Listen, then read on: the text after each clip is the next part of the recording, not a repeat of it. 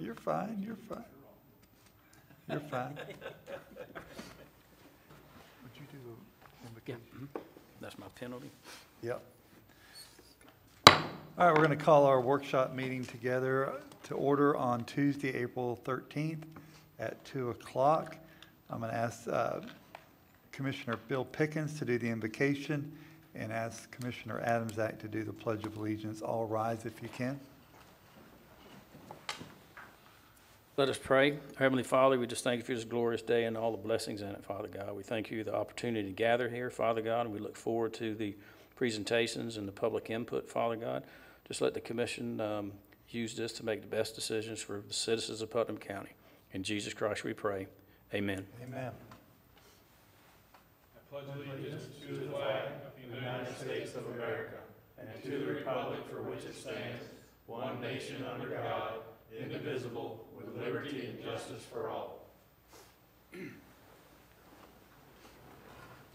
Thank you, Commissioner Pickens, Commissioner Adamsack, I appreciate it. Um, Is there any public comment on agenda items? We're going to get to some of the things if you're, if you just got one, okay? Seeing none, we're going to move on to our Port Authority workshop. Um, Is there any public comment on Port Authority items? All right, then we'll move on to our administration. Julianne, you want to take the purchase of land in the business park? Yes, sir, Chairman, thank you. Good afternoon. Um, Staff has been contacted by Mr. Callahan, who has reached out and expressed an interest in purchasing some additional land which surrounds the facility that he uh, previously purchased. Premier Development has offered um, a $25,000 per acre for the following sites, and I believe there was a map included um, within your packet. It is those adjacent parcels, and in total, it's roughly 12.56 acres, and staff is seeking direction from the board as to your will. Commissioners? Mr. Chairman, Yes, sir. I'm gonna have to have more information before I'm on board. Um, I have no interest in just blindly selling, uh, the, in- uh, twelve acres in, twelve and a half acres in the industrial park for twenty-five thousand dollars an acre. Well, that sounds like a lot of money. It really isn't for that type of land. It's bare pennies on the dollar of what it's really worth. So I'm gonna need more I don't mind selling it as part of an, of a package of economic development, but I need more information than just, he's willing to pay twenty-five thousand. That, that's my comment. Okay. Thank you. What would you, um, you want to know what he's going to do with it too? Well, a, a- mostly a timetable on when he plans to do it. In other words, not just buy it and sit on it ten years and take twelve acres of the industrial park right here, or the business park right here in a time that, that something could really happen with it, basically tie it up like, you know, s- some things have been done in the past in different areas of the county. People buy them up because they're a good deal and sit on them for an undetermined amount of time and nothing happens with that property. I don't want that to happen with the business park if it turns out that we could do something for economic development, which is why we own it in the first place. Correct. Mr. Rawls? So I, I agree wholeheartedly, and what, what I would personally like to see is a, you know, a complete business plan that also shows, um, what he's gonna build. He could come in there and build a, a three thousand square foot building or less and say, well, I, I built a building and there's really no, um, positive economic impact for us. I'm aware of property across the street that, um, we're working with a developer that, that closed on it about a month ago and spent a little north of a million dollars, and they've, they've got about fifty thousand an acre. Yeah, and it's right across the street from the business park, so, um, I think we should slow down a little bit and, and get, in, because if, if he, if he's building a building in the business park, that's one thing, but why does he need the, the St. John's Avenue frontage? That's the sweet meat, and that's where, you know, you, you've got most value. So I, I, I, I would agree, I think we should slow down a little bit and ask him to come and do a complete presentation and see if we want to sell him all those parcels. Um, and just, that's just my two cents worth. Julianne, would, you think you could get him in here to meet with us individually? Well, I don't think we want to do it as a collective group, do we? Let me reach out to Mr. Callahan and determine if he's available to be on site or if possibly we could set up some Zooms with each of you. Okay. And then maybe we can do individual, find out. I'll what meet him he- face to face, I don't mind. Well, I prefer face to face, but. I- I'm exactly on board with Commissioner Rawls on this one. I'm telling you right now, I think we're eating out the same trough here. I mean, it's absolutely, got to be one of them situations where somebody's not just buying it for investment.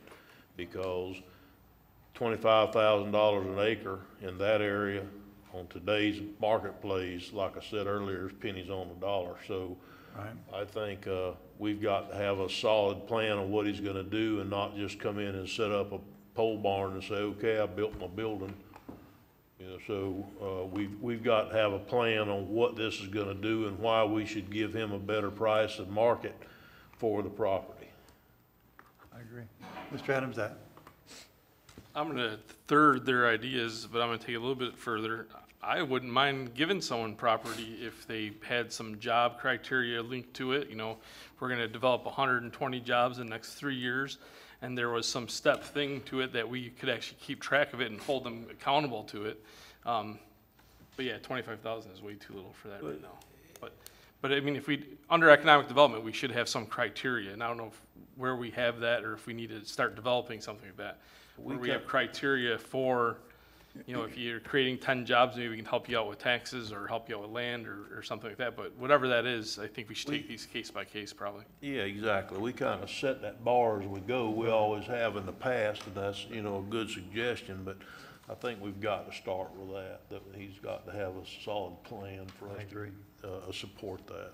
Mr. Pickens, I'll, I'll fourth that, what everybody said, is, um, yeah, to slow it down and, um, whether he wants to meet individually or Zoom, like you said, or with the commission, uh, of what his plan is for that property. good. All right, so you got your marching orders then? Okay. Absolutely. Thank you very much. Any other general discussion on Port Authority? All right, we're going to adjourn, adjourn the Port Authority workshop and come back to the, go back to Port Authority workshop real quick before we, Mr. Troxel, the, um, the eight-inch backflow preventer out there at the, uh, I was talking with the fire marshal about a job at the Port Authority the other day, and he, he mentioned the, the backflow preventer, the, for the fire main that's out there. Um, he's questioning whether or not it's serviceable and has been serviced, and I told him as far as I know, it had been. Do you know if it has been, or what the status is? I will find out. All right, okay. thank you. Now can I close the Port Authority? Okay, closed Port Authority. We're going to go back to BOC workshop. Mr. Leonard, Palatka Daily News. Sorry for Mr. Leonard. I've had to put him off for a little, a couple weeks to get, to get it working just properly with him, but, uh, I apologize. No worries, Mr. Chairman. Thank you, uh, members of the commission. I appreciate the opportunity to uh, come before you this afternoon. Um, In April of 2020, uh, this county, um, uh, with the commission uh, on board and uh, 12 other partners, began a year-long program called Positively Putnam. And the purpose of that was to help provide a series of projects and a daily dose of positive information for the members of Putnam County as we entered into um, the darkest days of the COVID- COVID-19 uh, pandemic. And uh, throughout each month of uh, April, May through uh, March of 2021, that has been the case. Uh, I have provided for you a uh, synopsis of the projects that were carried out uh, with your support and sometimes participation of each of you um, individually, personally at these events through the past year. Um, touched literally thousands of people in Putnam County personally with uh, delivery of, uh, of meals um, through uh, things like Epic Cure. Uh, Mr. Killebrew, who's here in the office, was uh, there on a hot June day, I think it was, when we were out there giving out uh, $10 gas cards to people who were coming through the line because they needed gasoline to get to their jobs or to other places. Um, We gave donations to the soup kitchens, to crisis closets. Uh, We participated in a number of events personally throughout the year. And then each day uh, at the Palatka Daily News, it was our privilege to, um, to brand the idea of thinking positively about Putnam County and about the good things that we have here in our community. And so that's been something that we have done over the past 12 months. Um, As we came to, the- toward the end of the program this year, a number of people in the community and several partners approached me and said, are you going to continue doing this? We're coming to the end of COVID, we hope, we think, but there's still some time coming, and we, we think this is a really good thing. We want to continue. So we have, we have um, put together a program for April through December this year. So just a nine-month program, just through this calendar year. Um, So we have um, 10 of the partners who have renewed already. Um, And anyone who has renewed, uh, are, we have 10 partners. We have two new ones. Uh, Barwick Banking Company, the new bank that is coming to town, is a partner, as well as Putnam Community Medical Center. They were uh, constrained by HCA, their, their ownership, from doing any sort of marketing last year. But we were able to push that through this year, so they're part of it now. Um, So, and for a repeating partner, which the county would be, there's a discount this year. So as before, it was a uh, investment of seven fifty a month to cover projects. And the other cost, uh, this time it would be six seventy-five. And, and the difference in that, we'll still carry out the projects as before. Just the newspaper will chip in that additional amount for the uh, returning partners. So there is a, um, a binder that talks about what the programs are projected to be for this year. And um, I would say to you, commissioners, and to other partners, we are open to doing different things as opposed to what is simply proposed here. Better ideas, we want to hear them because we certainly don't own a, uh, a patent on all the great ideas for it. I appreciate the commission's leadership in being a part of this. I think it's important for the community to see that their elected leaders are a part of a program such as this. And I would open to any questions you might have. Mr. Turner has a question, Mr. Leonard? How come you decided to only do it through the end of the year instead of till April of next year? Um, We just thought that uh, perhaps this would be the best way to carry it forward, but if, if you and other partners feel that we should go ahead, then we can certainly do that. Is it your belief that uh, it should be carried forward for another full uh, 12-month period? Well, I do. Um, also, the, uh, what is the difference between the renewing partner's investment and the associate partner investment? What, I'm assuming that the associate partners get less than the, um, Yes. the renewing. What, what is the difference in the level of, uh, Okay. The, for the, uh, for the, for an associate partner, which we did not have this past year, we had, we had some organizations that said to us, gosh, I love the program, but it's a little bit too much for my small business to be a part of. So, um, we opened up that other associate level. And so I believe, um, it might state in here, Commissioner, um, for the associate, uh, level, no, I don't think I did put that in this. Um, the amount of individual marketing that the associate members get is less, and, um, so have a, uh, a, a limit on other things, uh, with, uh, the, the freebies that they may get as a, par- as a partner. so basically, um, they would still be, their logo would still be included in the Positively Putnam ads throughout the year and what have you? I'm just That is trying- correct. I'm That not correct. interested in downgrading, I'm just interested in what they would Yes, get if that's right. somebody else went on board. It's an opportunity just to make it, or uh, uh, an attempt to make it more inclusive of additional companies. Okay, Yes. thank you, Mr. Chairman. Thank you, Mr. Rawls. So the, I'm, I'm confused here. Um, If we're renewing, we're at six seventy-five a month, is that correct? That is correct. I, I personally don't have any problem. I think we should do it. It's, Oh, you know, the- absolutely. The proof is in the pudding. If you turn around, a lot of the people that you've helped um, out are behind you. So, um, you know, I- is this something we do by um, consensus or? Consensus. You can make a motion. Well, if If we're everybody's ready, gonna- I'd, I'd, I'd be we're willing gonna to do make a it, we need motion. to that If we we're go gonna make a motion, I'd like to do it, if the Go program goes for a year, do it for a year.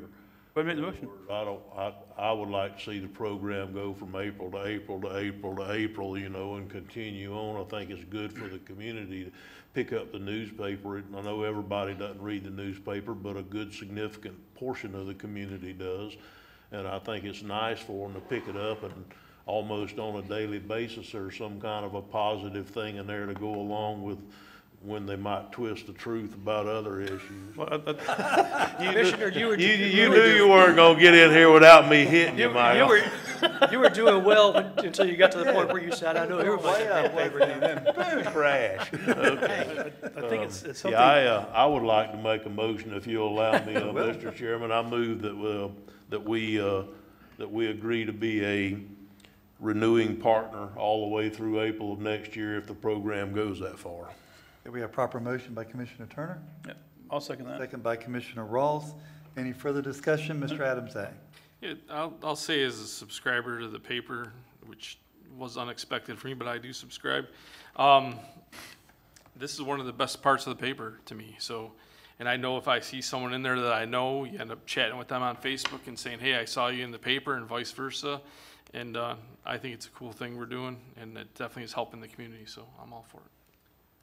I think this is, an Mr. oppor- Rawls? this is an opportunity where we could, when we, now that we're getting into the budget, look at setting aside dollars for marketing for Putnam County. Um, and this might be one of the things we want to consider doing on a recurrent basis. And I want to put these on all of our county vehicles. We get I got one on my door. You know, let's, that's what we need to do. Yes, I, I brought, uh, Yeah, gosh, I- 100, 150 some. Uh, Does everyone have a, co- have one? I We can can, provide yeah. more. And with those decals, we're going to be uh, beginning a contest in the community for, uh, for distributing um, the decals and trying to find them on people's uh, windows and uh, spotlight them, give them a cash prize. We also have uh, T-shirts we'll be producing, so we'd be uh, delighted to provide T-shirts for commissioners. So, okay. We have proper motion, proper second. Any further discussion? Hearing none, all in favor signify by saying aye. Aye. Opposed, like sign. The ayes have it. Thank you, Mr. Leonard. thank you very much. All right. And the program's from April to April, if y'all keep it that far, so. Okay. The next item is uh, Public Works Letter of Support for the U.S. Bicycle Route System. Mr. Troxel? You're going to be item B and C. Correct. Good afternoon. Um, This next one is uh, for a letter of support for the U.S. Bicycle uh, Route System. Um, It's a national effort uh, through AASHTO to build a U.S. bicycle route system um, led by FDOT, uh, the Bike Florida, and the Florida Bicycle Association, and the Adventure Cycling Association. The proposed route through Palatka and Putnam County um, uses about 10 miles of our, of our county roads and enters in from uh, the Palatka St. Augustine State Trail onto Ferry Road, Masters Road, all those down through there. So what we're looking today is just a letter of support from, from the commission. Hey, we want to designate this as US Bike Route 90. Right, right. And that, that's all we want to do is say, then we will give this to FDOT and then they will proceed to, to get the whole, the whole route designated as US Route 90, or US Bike Route 90. Good. Mr. Turner? Uh, Thank you, Mr. Chairman. Um, Mike, in your opinion, does this make us responsible for future maintenance on this bike trail before we even get involved in this? Because what's happened in the past is when somebody's come in and asked us for support for a certain area of bike trail in the county, even on state right-of-ways, they come back later on, and say, okay, you, you said you'd do it, so that means you're required to maintain this, this area from now on. So does this say that we're admitting or that we would do that later on? Or does this just say we support the bike trail being there at this point? That's the exact question I asked, and uh, right now they said it's, it was um, just that we support the bike trail. uh, And it's Okay, going so- on county roads. So we'll get another shot at if we or we do not want to perform maintenance on the portion of this we don't already perform maintenance on. Correct. Okay, thank you, Mr. Chairman, that's all I have. Thank you. Mr. Rawls? Um, this, uh, we discussed this at Waterways and Trails and they're, and, uh, fully support this as well. Okay. All right, so they're looking for a letter of support I'd say we do it. by consensus. Is everybody in agreement? Yes. Okay, I was- draw up the letter and It's- It's in the packet, sir. you're ready for my signature. Yep. You want it now? No, it's on the thing. Okay, good. Got holes in it. Yeah, really. Sarah, will you, well, Sarah's not here. Um, Next item, Public Works leasing of tractors for mowing. I am real hot. On This microphone, I'm freezing. on the microphone. Oh, Yeah. Okay, Mr. Troxel. All right, uh, Coach is- so Not everybody hot knows, like that. The pregnant. microphone was hot. as everybody knows, we have, we have five, five Kubota tractors. Right. Two of them are completely, completely out of commission. Uh, And so uh, we still have, we have three up on operational now. One went down the other day, but it's going to get fixed here shortly. But in discussing this many times with many folks, we talked about leasing tractors. And I, and once we talked about it, it makes perfect sense to me. Um, So, um, this, this agenda item is, is bringing forward to the board the leasing of five tractors, uh, this year, as soon as we can get it done, um, to pull our batwing mower decks, uh, versus purchasing, purchasing now outright. Uh, I did price this through two different vendors. One is is the other one is Ring Power. Uh, Clearly, Futch's is the, is the better deal across the board to get five of these things. So I can lease five of, five tractors for a two-year lease. We get five new tractors every two years. Uh, And that includes the, uh, the maintenance on them every 500 hours. They come out here, and a set of tires at the, at the end. So that, that price, that yearly price for five of them includes all that service, and at the end, um, after two years, we get five new tractors to come. Mr. Troxel, Mr. Turner has a question. Okay, so I thought we were gonna do three and then two. You decided to go on and just do the five because the others are barely hanging on. We were gonna like take the boom mowers off a couple and try to get through a few more months of mowing and so you just decided to go on and do five. Correct, yeah, because uh, one of them. I think that's a wonderful idea. I think, so we're gonna get five new tractors every two years. And, uh, all we got to worry about is when we wear the mowers out, we got to buy new mowers. correct. But the mowers are only year and a half old, too, close to two years old maybe? With the, the The the mowers, batwing, the- yeah. yeah, in the back, they're, they're fairly new, yeah. Okay. Um, I know it's not part of this, but it is part of it. Have we had a chance yet to look at possibly taking some of the smaller roads off of the sides and using, maybe trying to get somebody privately to do some of them instead of us taking tractors and trying to go down all these small roads that have a four-foot wide shoulder and we're using a fifteen-foot batwing on a four, four-foot wide shoulder? Have we had a chance to look at any of that yet? I have put together, I started on the, on the northwest side of the county. It was breaking that down into smaller groups, but uh, other than breaking it down into roads, manageable little stuff, we have not sent that out uh, for get pricing yet, but I have started that process. Okay, and one last thing, Mr. Chairman, uh, it's not exactly on the subject, so if you'll allow me just a little bit, spraying. Are we gonna try to implement a spraying program this year? I mean, we've been trying for three years now to do a spraying program. We got a brand-new sprayer sitting in East Palatka. I don't think we have a licensed person, or whatever the deal is. Are we trying to overcome those obstacles where we can spray some kind of inhibitor on the grass or something or another to, uh, try to make our, our mowing dollars, uh, uh, more efficient? Now, we, we have looked into uh, getting our own folks certified, but I did talk with a gentleman that, that does that service for other counties, and he lives here in Putnam County.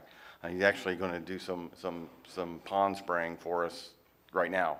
Uh, Aqua, I can't think of the exact name, but, uh, so he's going to get me the- what their pricing is and what their, what their contract is for the other county, because I want to look at that as well. Uh, But I just talked with him last week about this.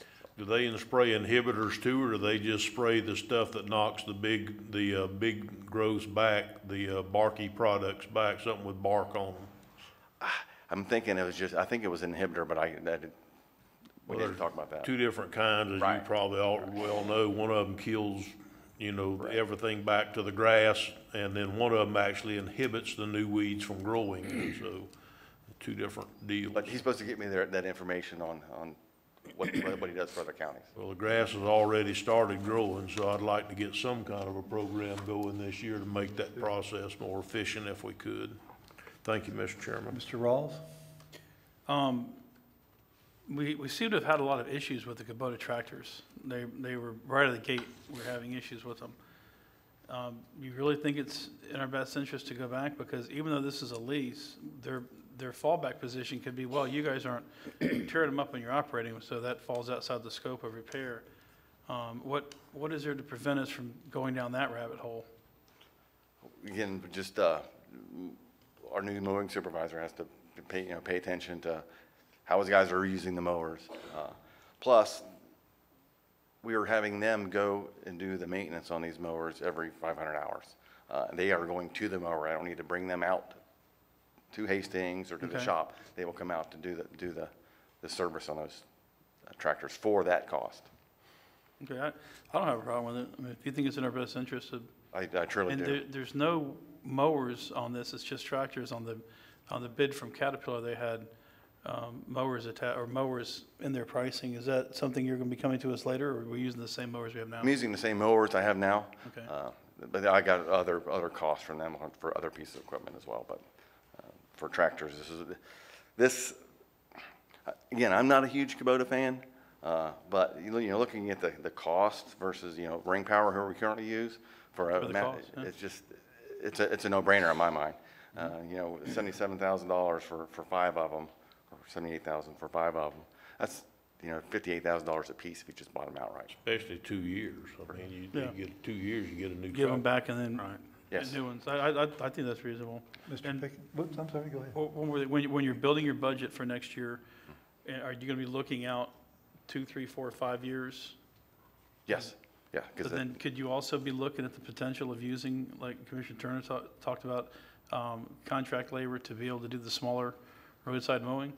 Yeah, and uh, you'll see, when, when the budget process goes through, I did build in some, some, some dollars to do some more outside contracting. Currently, we had like 25, or it was very minimal amount of, of money. Uh, So there is more money in there that I hopefully, hopefully get for next year for more contracted stuff. Cool. Well, now, if I may, Mr. Chairman, that- now that we have a mowing supervisor, that person can, can look at that as a, as a, as an alternative to how we've been doing it. And I think that since they're gonna do the maintenance, they'll be able to see what kind of, where we're falling short, you know, how we're using the equipment. Mr. Pickens? Yeah, Mike, as we talked yesterday, I understand the, the preventive maintenance every, every so often, but what, did you find out if there is a, a major breakdown, they gotta take it back to the shop and it'll be a couple months before they can get it fixed? Do they give us a loaner or we just down that tractor? I I did, I did ask that question, and a loaner was not included in the, in the, in the, in this price. Now, he could include it in this price, but with that said, uh, I have five tractors. Uh, I still have the, the, the three boom mowers, the Challenger boom mowers that we have, and the, the two new, uh, boom mowers. And the Challenger mower, I took the boom off, so that is now, that, that's a, a sixth tractor, so to speak. So, and I had the ability to take another Backup. boom, uh, That just boom arm guarantees off of the other Challenger. One. So, Yeah, that's pr- pretty much what I was trying to. so I have a, I have a backup if something, if something should happen. Okay, um, I guess with breakdowns and they're not, I guess, do you know what's covered in breakdowns or, or in repairs of the warranty? I mean, if like it, if it breaks an axle, do you know if, if it's, if it's, if that's covered? I mean, is there like a hundred percent warranty on it, or is there a certain amount of things that aren't covered? If I'd that's- have to, I have to look at the, the warranty period itself, uh, but I would assume there's certain stuff that, that it will be covered under. Just don't think when we purchase something, if it's covered under warranty. I'm not sure what that warranty is offhand, but I can find that out. All right, I'm good, thank you. Using Mr. Adams, consensus, then? or were we taking action on this? I guess my, my question to you would be this, is with five mowers, do we have the manpower to run five mowers for six thousand to nine thousand hours a year? Yes, currently we have, uh, we have, we have enough to mow with five, five mowers on tractors plus some additional folks for our, our boom mower. Okay. All right, well, we, um, Chair will entertain a motion on Mr. this Chairman, item. I move that we approve this and put it on the uh, consent agenda at the next meeting. Okay, got a proper motion by Commissioner Turner to move I'll it to second. consent agenda, and proper second by Commissioner Pickens. Any other further discussion? Everybody in favor, say aye. Aye. Anybody opposed? Nope, going to consent agenda. Thank you. And next item, Kevin Stevens, Mr. Stevens. Christine, can you turn that down? Because it's really, I'm feeding back a lot.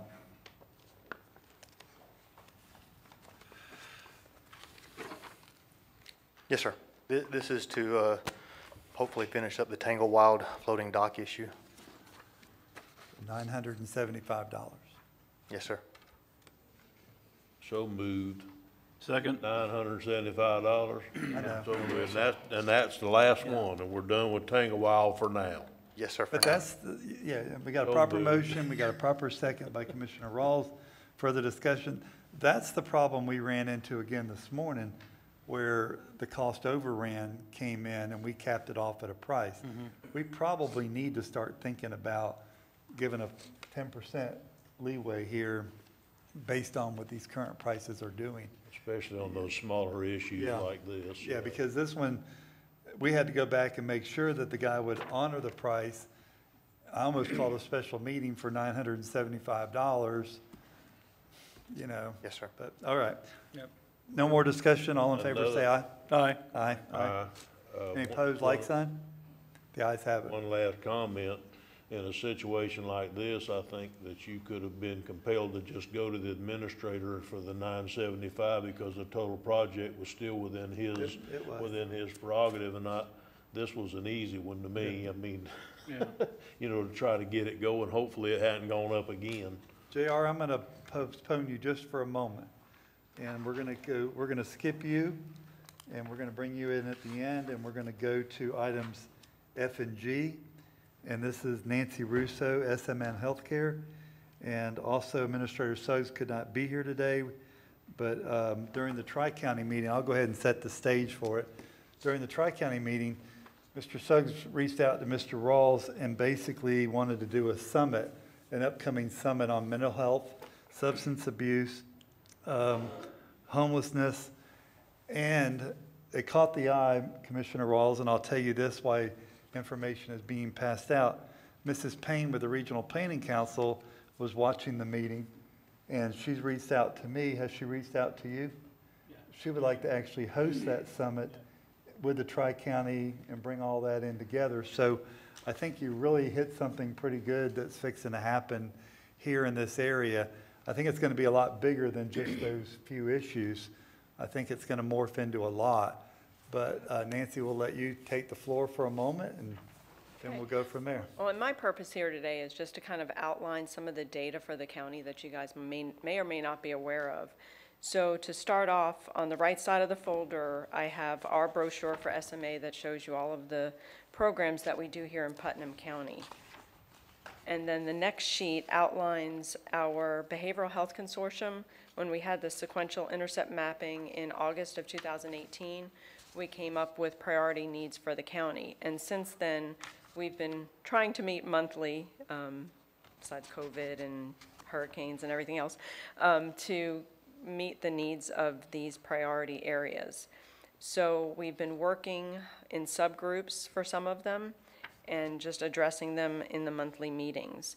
And then the back of it is the children's needs that are um, also being worked on simultaneously. The next sheet is the gap analysis that Christy Gillis has been helping us develop for Putnam County, and it shows the continuum of care from aftercare through, um, like, just coming in for prevention through aftercare of treatment. So it has all of the different services, and then we've outlined which ones are currently within Putnam County that we have access to, which ones we have access to at other counties, and which agencies are providing it, and then the last column is where there's no services available at all. So we're not completely done with this yet, but we are, it is a work in progress, so we should hopefully have a finished product within the next few months. And then the last sheet on that side is the programs that SMA has been able to bring into the county since 2018. And the majority of them are grant-based and time-limited. So you can see the first, the first three are already completed with no reoccurring funds. We were able to secure a second grant for the CTTU, so we do have that in operations for another three years. But there, um, it also shows when the grants are ending. And a lot of these are, um, again, time-limited. Some are just planning with a short implementation to kind of see what other needs there are out there, like our um, Institute of Inter- Intergovernmental Research, our IIR grant. We started out with a four-month planning and then went into implementation right when COVID hit.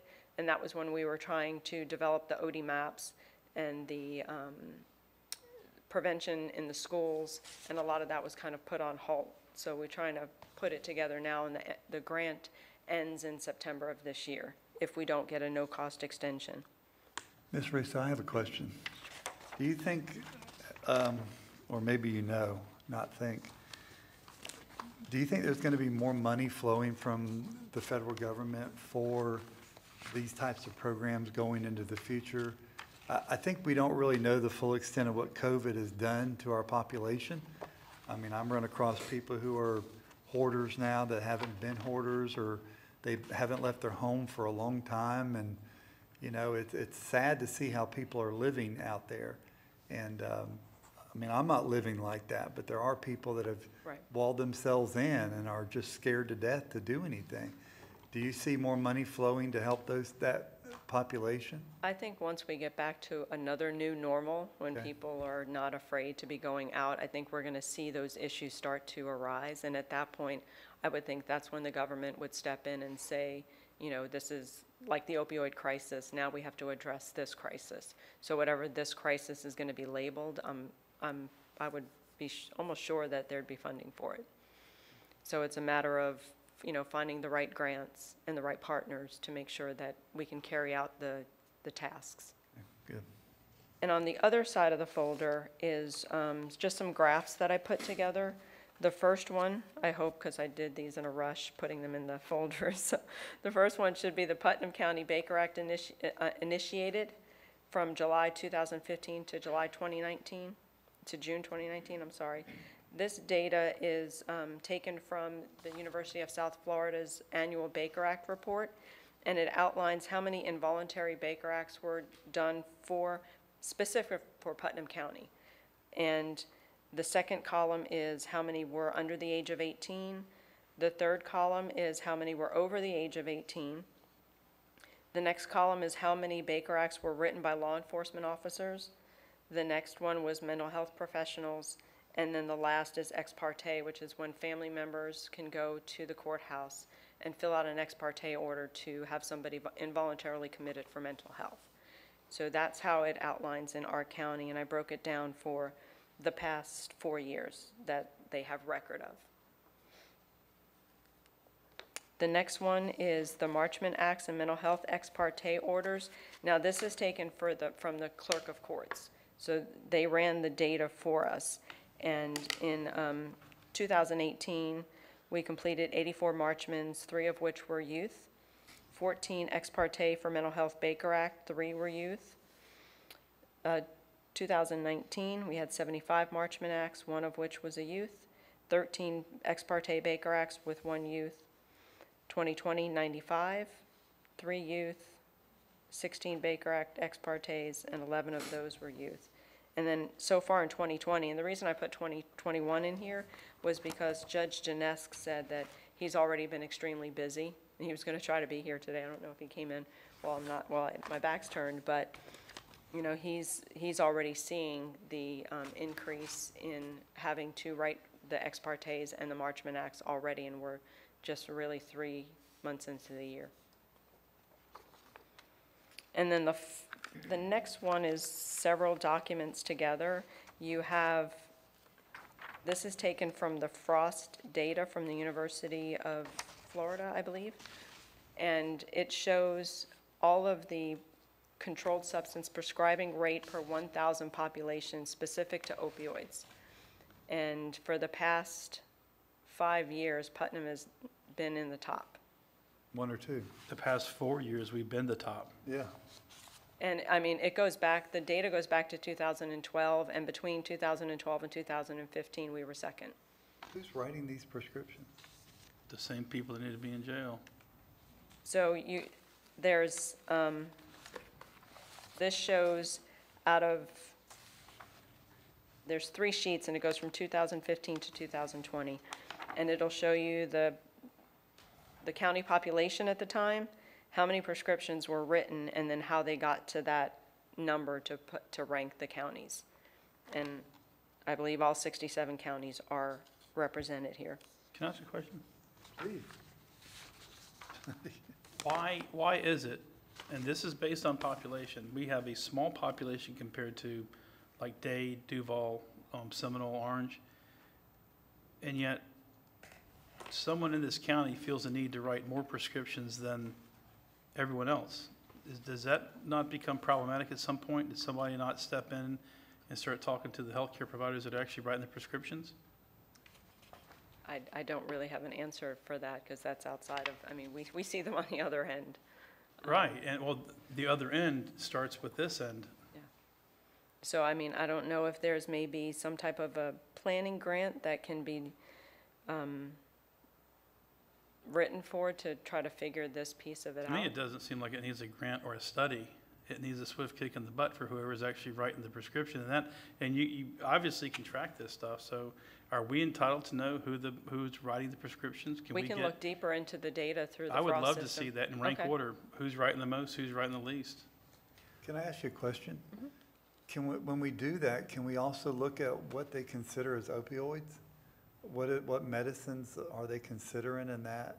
Because maybe we got, maybe there's a big, I'm not gonna single out anybody, because I'll, I'll get in trouble, but maybe this group takes a lot of these, and that group takes some of that, and there's gotta be something that, but being number one in this field doesn't really excite me at all for the past four years, and number two in the fifth year. I mean, it's crazy.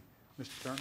Uh, yes, thank you, Mr. Chairman. I, I think that the sheriff's department also needs to be included in this because I know they do investigations a lot and they're involved in this very deeply and they do investigations on, um, certain pain clinics or whatever that are writing these, pres- these prescriptions or what have you. So, you know, I think, um, this is almost, Ms. Russo, excuse me for saying this, but the next item has also got to be part of this discussion. And I think it's a good idea. I think that we need to have a summit of the players in this, which include, you know, I think y'all talked about it at, at your meeting the other day, your tri-county meeting, and that was an issue everywhere. Um, and possibly it's even a bigger issue here, but if you could get the players to the table, like the sheriff's department who investigates this and they know what's going on, don't think for a minute they don't. Some of it they may not can do anything about, but they get what's going on. Um, maybe you could get them to the table as well as the providers. No, they're- maybe- they're- they're definitely part of the- Some of the yeah. private providers and, you know, I think that I see that a lot of the people that are here today are people who, uh, live and breathe that, that, uh, that recovery lifestyle and that they're leaders in the community in that realm. And, you know, I think those would, that would be the proper place to get answers to the, what we're trying to get answers to is what, what would be the best way to move this forward and to answer some of the stuff that's going on and, and do we put, put dollars in a certain area as long as that, those dollars don't compete with private industry, because I have a problem with that. I have a problem that the government goes into business against somebody that's trying to do it for profit and earn a living at it. So, but that's the kind of stuff that needs to be talked about at a health summit. Um, I wi- I'm very sorry to see that Mr. Hu- Suggs is out today, not just because I don't want him to be sick, but also because I was looking forward to his participation in this discussion. Um, so perhaps, you know, if it wouldn't be too big of an issue, we could take test. I hate folks showing up today and not being able to talk, so we go ahead and listen to anybody that has anything to say here today. But this commissioner would like to see that health summit. I'd like to see it go there, where we could have suggestions and comments from professional people that know what they're talking about, because I'm telling you right now, I don't know everything about this issue, but I'd like to know more. And that's, I think, where we need to start, is that, that summit that What- y'all what- came up with. What, what brought this up is, um, serving on the Public Safety Coordinating Council, I've been very frustrated. Um, a lot of the frustration came after the onset of COVID, because I realized that we were gonna have a problem with folks that were, um, relapsing because of the, the condition of the economy, being locked up, um, kids not being able to go to school. You've got, um, that, that starts your, your mental health issues, uh, conversation. But um, real quick, just for some sticker shock, if I'm doing my numbers right, you got hundred nine thousand six hundred twenty-four prescriptions written in twenty fifteen, and it goes north from there. Somebody needs to be held accountable. hundred thousand pieces of paper, hundred thousand dis, dispenses of opioids. And you can't mix the word. Opioids are a derivative of, of um, opium, correct? It comes from the poppy seeds.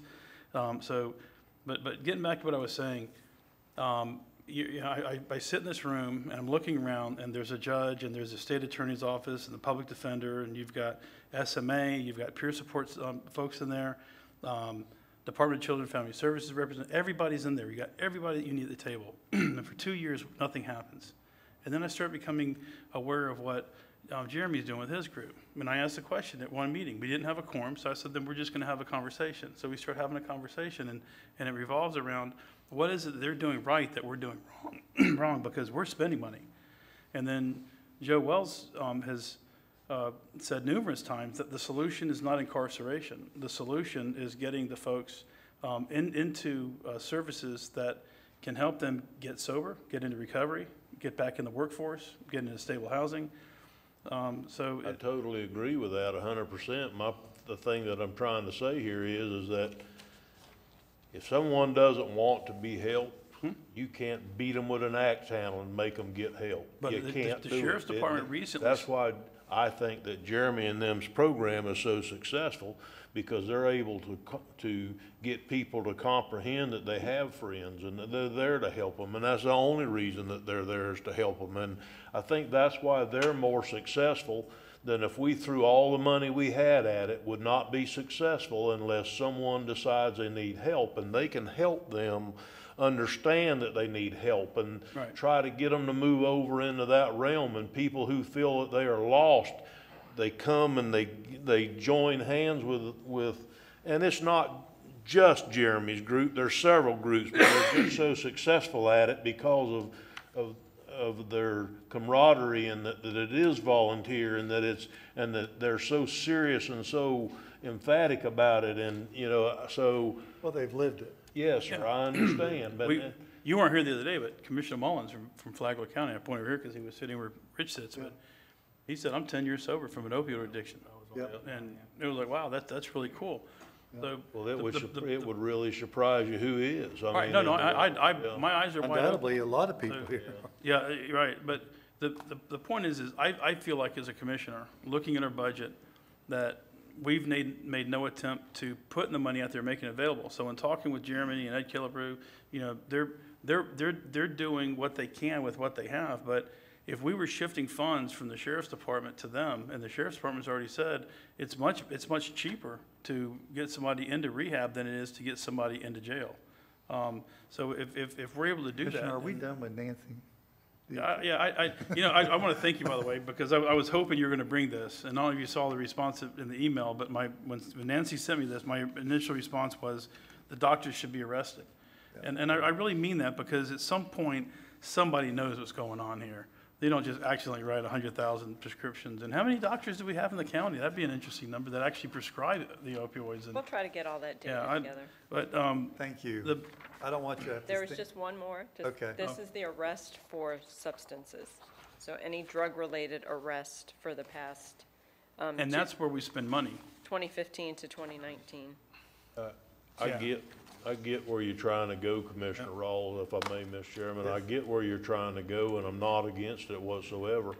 I just, I think we need to be very careful here, because it's kind of like that, and I hate to compare it to this, but it's just kind of like it. When the city decided they were going to build a restaurant down on the riverfront with, with city money, and the, and that restaurant was going to compete against Musselwhite and Corky Bells and all the other restaurants that people were trying to earn a living at, I fought it tooth and nail. I wasn't a commissioner then, but I fought it. And the reason why is because the government should not be putting money in an industry that people are trying to earn a living at unless it's a niche in the industry that that, that that for-profit people that are earning a living are not, are not covering This, or this, Is, this isn't this isn't that, this is something completely different. What I'm, what I was hoping was, and, and by a lot of the folks that are here, um, was for the commission to hear what the total impact is. Because the, the, the person that, that, that has the addiction is one part of it. Their families are another component, the kids.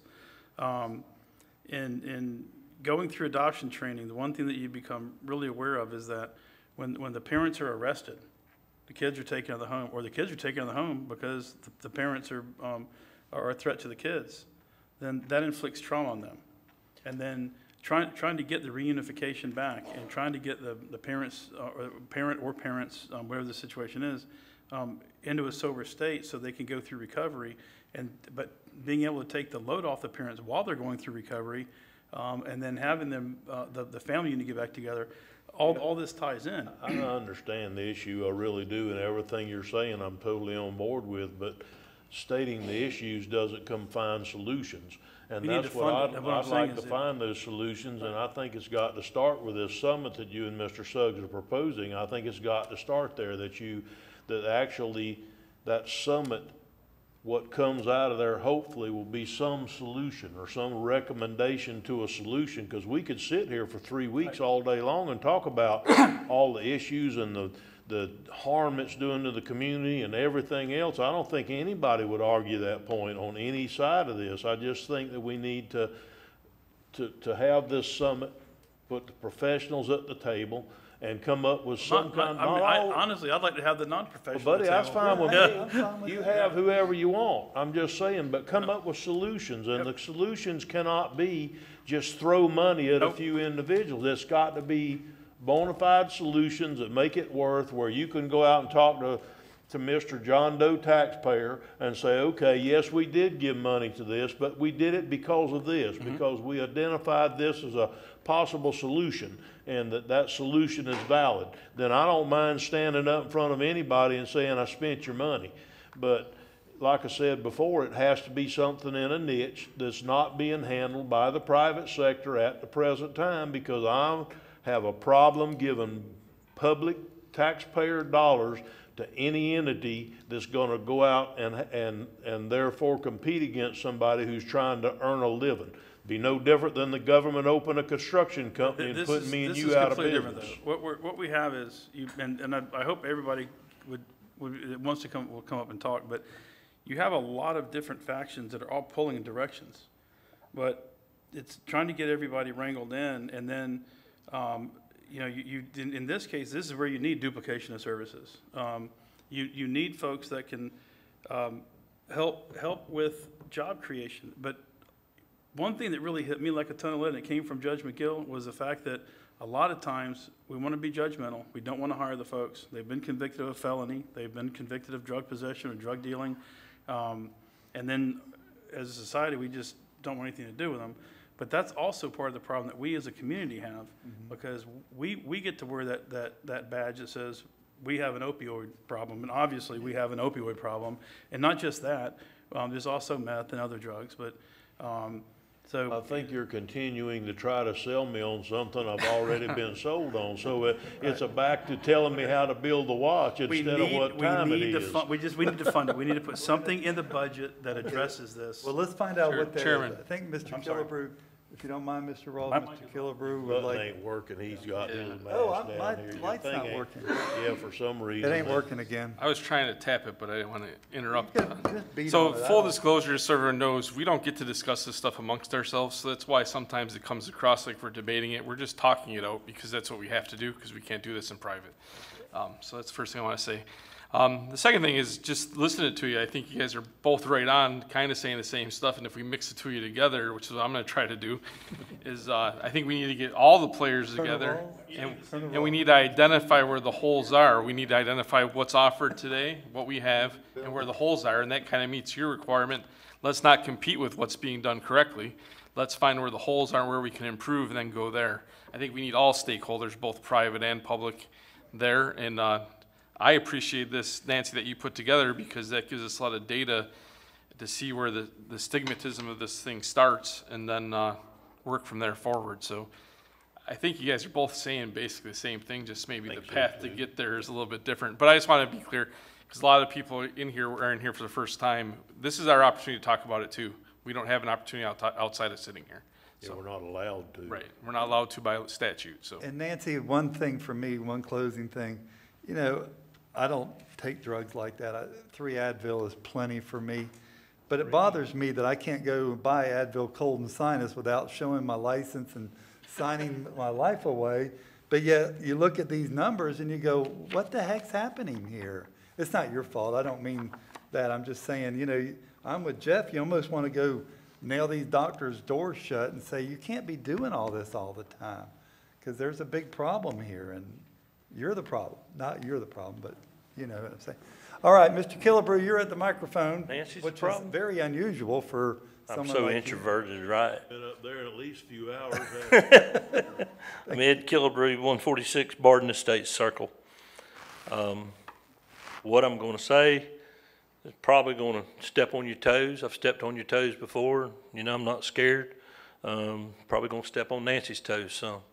But this same thing that we're talking about, this same whirlwind we're in right now, we talked about it three or four years ago. Matter of fact, we, I, I was on the phone with, with, um, several commissioners back then when there was a, I believe it was a six hundred thousand dollar grant that was given to Stewart Marchman for them to take our detox center and move it to Volusia County. We now pay them, what did we discover, Paul, thirty or thirty-five thousand dollars a year? Jeff? Mr. Adams, Zach, are you not paying attention to me? I asked you a question. We are aware that it's, the number is much higher. Okay. Uh, And so here we are, we, we, and, and we just got through, y'all just signed off as a board on that grant a few months ago to get to the end of it so they could get paid for it or say they were right or whatever. We lost a detox center that was supposedly serving, I mean, it was going to serve other places too, but it was supposedly serving Putnam County, and we lost it because people in Putnam County weren't in the detox center. They couldn't get a bed in the detox center because people from St. Johns County and people from Volusia County were in our detox center and keeping our people from getting in the detox center. So several years ago, and I'm not tooting my own horn, I'm just trying to, I'm, we're all history, and I know y'all know what I'm, what I, what I'm telling you. Several years ago, I mean, it, this goes back to Representative Van Zant's era. Um, my wife and I went to him and started talking about a, a bridge, a place to come out of detox and get ready to go into um, a rehab, which we've got two of here in the county now. One one pays, I mean, you know, you pay big bucks to go into, and the other, like you were, uh, uh, you know, insinuating a while ago, they do a very good job on their own, just getting just getting money from just wherever they can get money from, scraping by, begging and borrowing, stealing, you know, and, and, and I don't believe that that should happen. Um, Celebrate Recovery is a very, it's a, it, it works. Um, I hope that some of these people behind me that are, have come in here today will, y'all will allow them to step up to you today and tell you what Celebrate Recovery has done in their life. And, you know, you, again, you, you said it a while ago, you know, the, they, it works. But back to the bridge, the funds, um, Representative Van Zant promised funds back then to help get funds to build a bridge so that it could go, so that these, and, and we were looking at young ladies mainly. Because, you know, when the young ladies come out of the, that, that, that dealer knows right when, what's going on. He knows when they're coming out of detox. Um, they're supposed to have seven days by the state, you know, what the state says. They usually get five before they kick them out. They're very, their heads still aren't clear. They don't, you know, oh, I got this. I can walk on. And their dealer's waiting, waiting right outside and said, baby, I got what you need. Come see me. Come on. Come on. You know? And so there's a, there needs to be a place, in my opinion, that there, that goes in between. I mean, we got that. You got, um, Recovery Point coming up over there. They've done a very good job. But I'm not saying give all your money to celebrate recovery. That's not what I'm preaching here. What I'm preaching is, is we got, we've done something. We, we, we've got a grant to do something. We've worked with six hundred thousand dollars. Where'd that go? And again, nothing personal against Ms. Ms. Russo back there, but, you know, where'd that go for Putnam County? So to, to address it real quick, right now, the way we do business is we, we're transporting people out of, out of county. Instead of taking the money and directing in county, we're sending it out.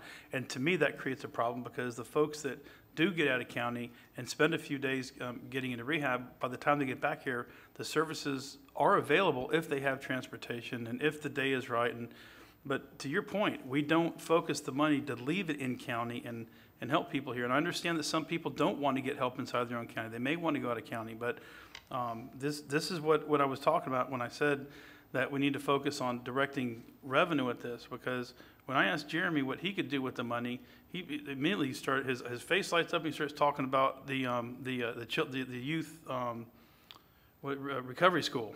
And I hope he talks about that because that's a really, that's a really neat thing. And we got an issue with our youth as well. Okay. Well, I mean, if y'all would, if y'all would, you know, um, be patient and listen to a couple of these people, would it be I'm gonna hear okay it. for them to step up if they want to and talk to y'all? I'd like to hear Love it. for to hear them, Ed, not a problem. Commissioner Rawls, I'm going to ask you to take the lead. Anybody other than Jeremy? Just kidding, My pal. name's Jeremy Ray, 108 Barber Lane, Palatka, Florida, lifelong Putnam County resident. And uh, I just love Putnam County and the people in it. And, uh, uh, you know, I'll give my life for them. And um, so what started out eight years ago as Celebrate Recovery, which is a family program. We have a, a, a program for the children, the youth, and the adults. So they're learning kind of the same coping uh, mechanisms, the same recovery each night. So they get to go home, talk about it. So what, what began as a one night thing is now every night, every day. I mean, we have a, we have a walk-in center um, during the day that people come in. They come from the jail, and we have a clothes closet um, to help people get ready for a job interview. Which there are tons of jobs right now in Putnam County. I just want to throw that out there. Um, but you know, man, things are happening. You know, I'm I'm trusting in God, and He's carried us so far. And and if you want to give money, great. If not, that's great too. We're still going to love you. Um, but we there, there's there's just so much going on, and I know that many people don't know don't know about it. I mean, we have peers. We're getting ready to, to gear up and go into the into the field. I mean, we're the ones that go into the gutter, you know. And I appreciate the ones that sit sit behind the desk, and I have to sometimes. I, it drives me nuts, but you know, we're the ones that go out there um, to the overdoses, and and we, we reach out to those families. But um, we are talking about a recovery school, and we have spoke with the Putnam School District, and uh, that's going to happen this January. That's that's our goal, and um, we have a building. The school has offered possibly one of their buildings that they shut down this year. Um, it's not going to take much to staff it. Um, we're planning for anywhere between 10 and 30, 30 kids. Um, these children will come and they'll get their high school diploma and they'll learn recovery because they will have a substance use issue to, to, to come into that school.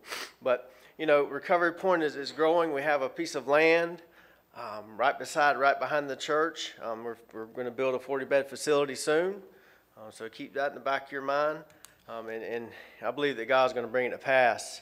Uh, but there is a, a few people here today. Um, you know, any of you guys want to come up here for a minute? So, you know, the, these, you know, he won't mind me telling you, these are guys straight out of the jail. You know, uh, we were, uh, Joe Wells, uh, many of you know that he was the last officer to arrest me, and, and, and I didn't go down without a fight, okay? But me and him are friends today, um, and we, we've been in the jail for about five or six years now. Um, so, are you coming next? Okay, this is my wife. I just appreciate y'all. We're, we're here. You ain't gonna run us off, okay? So, We don't want to run you. y'all. Hello, I'm Melissa Ray, 108 Barber Lane, Palatka, Florida. Um, I just wanted to shine some light on some of the topics that have been discussed as I'm sitting back listening. We have this phrase in recovery, and it's nothing about us without us. Um, and, you know, I was thinking, my kids love that. Um, it's a cake decorating show. I don't even remember what it's called, but they'll sit there and they'll watch it and they'll watch it and um, nailed it. I think it is like nailed it. They'll anyway. They'll wa- they've watched it so long. You think they know everything there is about cake decorating, but if you put a cake in front of them to tr- decorate a cake with what they've learned, they're not going to be able to apply it. And that's the magic of what happens when a recovering addict works with another addict because not only do we have the knowledge that we've gained through the training that we've received, but we have the application. We know how to make it work, and that's why you see it work so well. And so to think that you guys sitting up here on the panel have knowledge about it and you'd be able to make it work, um, we don't knock you for that. We understand that, but we appreciate the fact that you have a heart to reach out to those that can apply it um, and to support that as well. And, you know, talking about the jail, um, that is one of the issues we have, but there's also a solution. I agree. We don't spend time in the problem. We have to spend time in the solution. And there is a solution. When people get out of jail, they get connected with people that can help them. Um, and that really broke in our hearts when um, I've been going into the jail ministering to those women every week for a few years now. And I had one that came out, and of all the hundreds that I talked to, there's only been a couple that have followed through, right? And this one called me, and it was about two years ago. And so I met up with her, and then when I went to take her home, where she called home at the end of the night, and I realized who she was living with, um, it just came over me that I am taking a baby and feeding it to the wolves. Telling them to get it right and stay together, but putting them in that same environment in which they got sick. Um, and so we actually opened the door of our home and we allowed this woman to come into our home because I couldn't do it. I could not leave her there. Um, and that ended up, didn't take long before my husband was like, uh uh-uh, uh, we are opening up the women's side of the recovery house. Um, and so now the women's side is open and we have beds there and, and people's lives are being changed because there's care and there's love being poured into them and we're showing them that we can recover. Um, and I guess Jeremy wanted me to share this with you guys too. I guess he forgot. We have an event coming up this Saturday. It's Save One More, and it's a Narcan distribution and education. Um, there's a lot of thoughts and opinions on Narcan, but the reality is nobody has a chance to recover from And so the whole point of Narcan is giving somebody enough life to where they can get to that point. And maybe it takes that near death experience in order for somebody to realize they want recovery, right? Because you can't help someone that doesn't want help, right? But we never know what it is that they're going to experience that causes them to want that help. This family that's pictured here, this kid, he was a kid. He was 18 years old. He grew up with my kid. He died twice and was saved by Narcan and now has a year of recovery and a beautiful family because he's working the program and he was saved by Narcan. So this we're doing next weekend, the 17th. If you have questions, um, if you have any kind of anything about Narcan, leave them behind, come to this event with an open mind, um, and just learn what there is to offer there. Thank you. I got a question for you. And I appreciate the work y'all do, because I've been watching it, and it's been wonderful. But does most of the people that come to you, are they opioid, opioid, or are they on something else? And I don't know the difference, so excuse me that I'm naive about that. Tell me what their are are they part of the prescription drug problem or are they pro- part of the street drug problem? Maybe that's the question. So we reach, uh, we reach out to people um, that are more than even substances. So we don't really ask what it is that they're struggling with. Now, when we're getting them into detox, that is important. And we, another issue that we see is with methamphetamines. There's no protocol for detoxing off methamphetamines unless they're using it IV. So if we have somebody that is trying to come off of methamphetamines, all we can do is sit with them and be with them and, and help them with them, that temptation until their mind begins to get clear because there is no um, detox for that. So I think here in Putnam County, just from my perspective, um, meth and heroin um, and now fentanyl is becoming really, really big problems with the Fentanyl and substances. heroin, that is your opioids. Yes, sorry, yep. Um, and another gap we have that I wanted to mention is that the Marchman Act, we talked about not having a detox center here, and here's where the gap comes in with the Marchman Act, is that it's a two-part process, right? So first is the detox, and then they have to go back to court, where they have to refill out the paperwork and file for it, and then go to court. Well, when we send somebody from Putnam County out of county to detox, then the family, before they can file the second part of the Marchman Act, that individual has to be back in the county. So that means they've left the place where they got sick for a few days, They've come back to the environment in which they got sick, and now they're supposed to stay clean until we can get the next part of that Marchman Act issued. And it's, it's just, it's not, it doesn't happen. It doesn't happen. If they could stay clean, then they wouldn't need the detox or the rehab. So um, that's just another hole I wanted to throw out there to bring a perspective in on that. And we did, we discussed this at the um, Public Safety Coordinating Council meeting the other day. And uh, the young lady that was there from the um, Public Defender's Office expressed her frustration as well. She's like, you get somebody that you're trying to help in court to stay out of jail, and um, they can't get help because the Marchman Act has that, that where you have to be, she said it could be a month apart, and they're on the street. So, Mr. Adamchak and then Mr. Pickens. So I, I wanted to comment after, uh, Mr. Killebrew, but you actually led into it a lot better for my comment is not for what Mr. Killebrew said. So what I see the summit being is exactly what you just did. You identified where there's a hole. So what I hope is that several of the stakeholders, whether it happens before the summit or maybe that's what comes out of the summit, identify where the holes are and then try to identify who's best prepared to meet that need should be the outcome of the summit, or whether it's the summit or the, the summit and the follow-up actions. But uh, you identified a need, that's what I hope we can have come to that conversation. So we can identify what we're doing, what different groups are doing, what they're doing well, what the needs are, and then try to fill the holes of the needs. And I think that that would be the best, and I'm glad you identified a need. Speaker too, by the way. Thank you.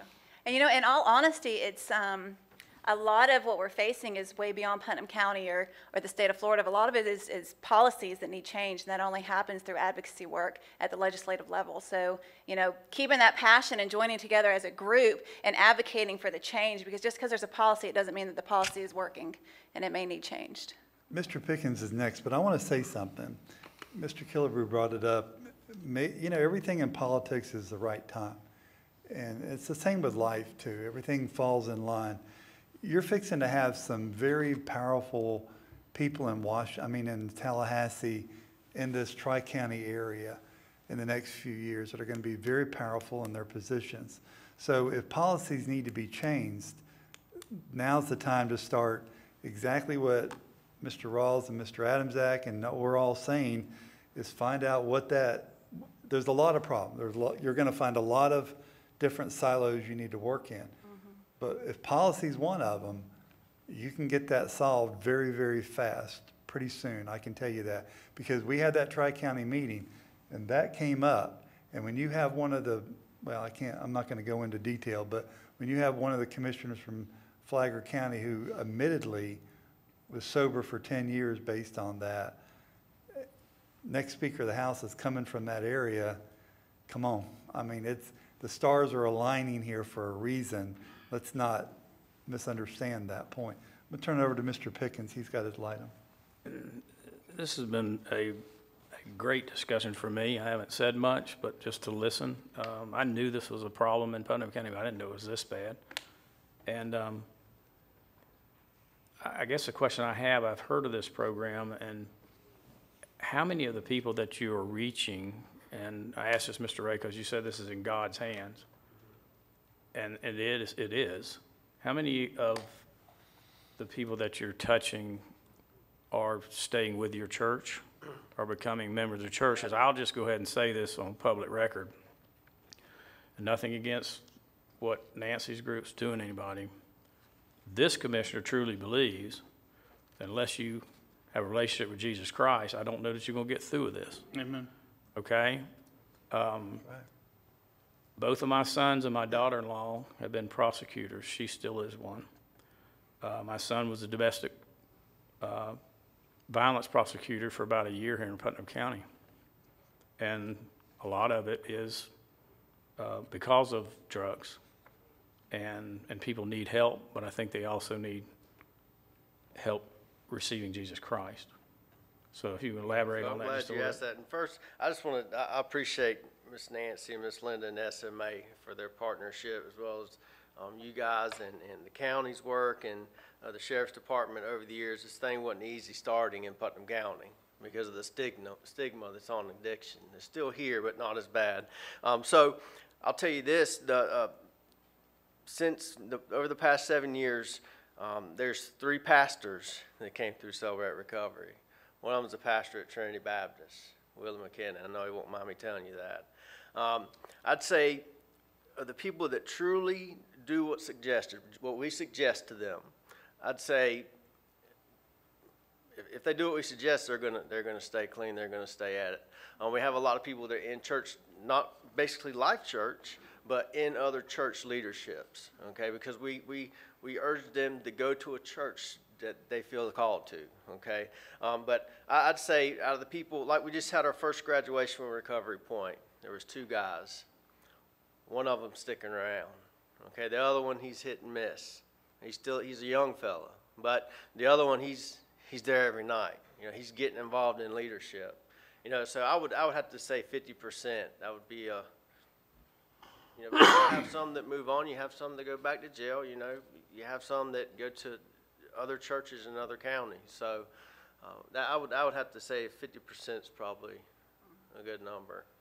Okay, thank you. You also have some of those that do leave, and then years later, when they've hit their bottom, bottom, bottom, they come back too. Yeah. And so sometimes they're just not ready. There's still some more stuff they have to go through before they're ready, so. You know, I'm glad you said that. I was in a revival one night. I'm, I'm going to take a point of privilege. Pastor grabbed the guy and says, "You're not ready to receive the Lord," because he knew he, he was just faking it. You know, and I was sitting there surprised about that, but he hadn't hit the bottom bottom yet. And the pastor re- recognized that and had, had, had that knowledge about it. And I tell you what, it wasn't a month later, the guy hit the bottom bottom, and he turned his life around and never went back at that point. But he was playing with God at that point, so. Um, my light's not working, my, none of this is working, so just, what, one of the things that, that brought this out was, we're having one of these conversations, we couldn't have a quorum, and, and, um, in the frustration, I asked someone in the room, um, why, why is it what they're doing works, talking about Recovery Point, and the answer was, well, they're faith-based. And I said, well, there's a solution. Uh, We know we have a problem, we have a solution. So um, I know there's supposed to be separation of, of, of um, church and state. This isn't one of those conversations. We're, we serve as a, le- as a legislative body, but we also are citizens, and we're brothers and sisters, and um, uh, we, we're in civic groups, we're in churches. if, if, if, if we don't all embrace this problem, then we're not going to get anywhere. And I look forward to a Tri-County Summit. I think that's going to be great, but I also look forward to us working locally with our citizens to get the solution, regardless what comes out of the summit, that something starts here and stays burning and not just, this is just a flash in the pan, so, but. I tell you, um, when the, when the pandemic hit, churches were closing, okay? Overdoses went through the roof. Suicides started shooting up. We, we closed down for a week. And then we're like, you know what? We're opening the doors up every night. So we started having meetings every night, secular meetings, Narcotics Anonymous, Alcoholics Anonymous. And I'll tell you, man, people came in, we, we had that secular pathway for them to come through and, and it stuck. Man, you know, God was there. They knew what was going on, the people that were leading them groups, and, and it just filled the church up, you know. So we want to have multiple pathways um, to recovery. We don't want to push someone out, and we don't just throw God on someone. That's not what we do. So it's basically just living a life of recovery, working a recovery. Um, so it's, it's working, you know. Oh, Here comes Ed again. Yeah, well, I got just one, more- I won't say it's one more thing. One more thing, Because I'm yeah, sure I'll right. have more to say. But uh, in, in answer to Mr. Pickens' question a minute ago, not only is it affecting the addict's life and the family of the addict, but people like myself, I don't understand addiction. Like, probably most of y'all, all of y'all don't. I don't understand that drive. I don't, and, and I'm gonna throw my wife underneath the bus here, and she don't want me to, but I'm going to. She, Better she, not, then. well, I, I mean, she gets, she, she, she understands me, okay? She's been married to me for, she's been married to me for thirty-three years. She understands me. But she made me understand addiction and the fact that it's an everyday thing. You get up in the morning, there's a song, there's a smell, there's a voice, there's a person that triggers what's going on with you. And that could trigger you. And my wife said to me, every morning I just give up and give it to God. Mm-hmm. I get up and give it to God every morning. I want to say this about me with church. Every time I walk into Celebrate Recovery, I, as a born again Christian, as a person who has it together, um, I find a new thing that's wrong with me every time. Um, whether it's Jeremy delivering a message, Melissa delivering a message, one of these guys talking, talking about what how their life is, and I find that it, it brings a relief to me. I'm, I'm, I'm able to, if I have a chip in my hand, which they give you chips when you walk in there, and it's a, you get, you, you get up and take it to the altar and leave that chip there, and it's ceremonial, you're giving it to God, okay? I'm, I'm through preaching, but that's, that, that's that, but that's, that's what, I, I feel relief from that. And, and I, I would, as a person, as a citizen of Putnam County, invite all you commissioners to come to a Monday night meeting. Come in and sit down and eat dinner with them. They start at five forty-five. Five forty-five, they start with dinner. Sit down and let some of these people talk to you. Let them tell you, you know, I mean, just, you don't have to tell them who you are, just, they'll just, bleh, tell you about them, you know, what's going on. And then they'll get up and they go in and they have a praise and worship service. And then they have a time of, of people talking, and then they have a small group, but the small groups know what I'm talking about, but just go in and see what's happening in there. And see the change of the people from week to week. I mean, these two, from the first time I met them, you know, to where they're at today. Um, you know, but that's, to answer, I mean, to answer your question, it helps everybody, Mr. Pickens, not just the addict. But Ed, wouldn't, if I may, Mr. Chairman, may. wouldn't you agree that until somebody's ready to, to Absolutely. get there, that you're not gonna fix them, I don't care how hard you try? Absolutely, So, I Terry. mean, that, that's the part of this that impresses me, y'all get that, or the people behind you and you get that. You're, you're not gonna help somebody till they're ready to be helped. I'll admit, I don't know much about addiction, but I've been around it for forty years because half the people that's worked for me over the years has either been in, out, or headed that way. Right. So I get it, and we try to support them through that if we can.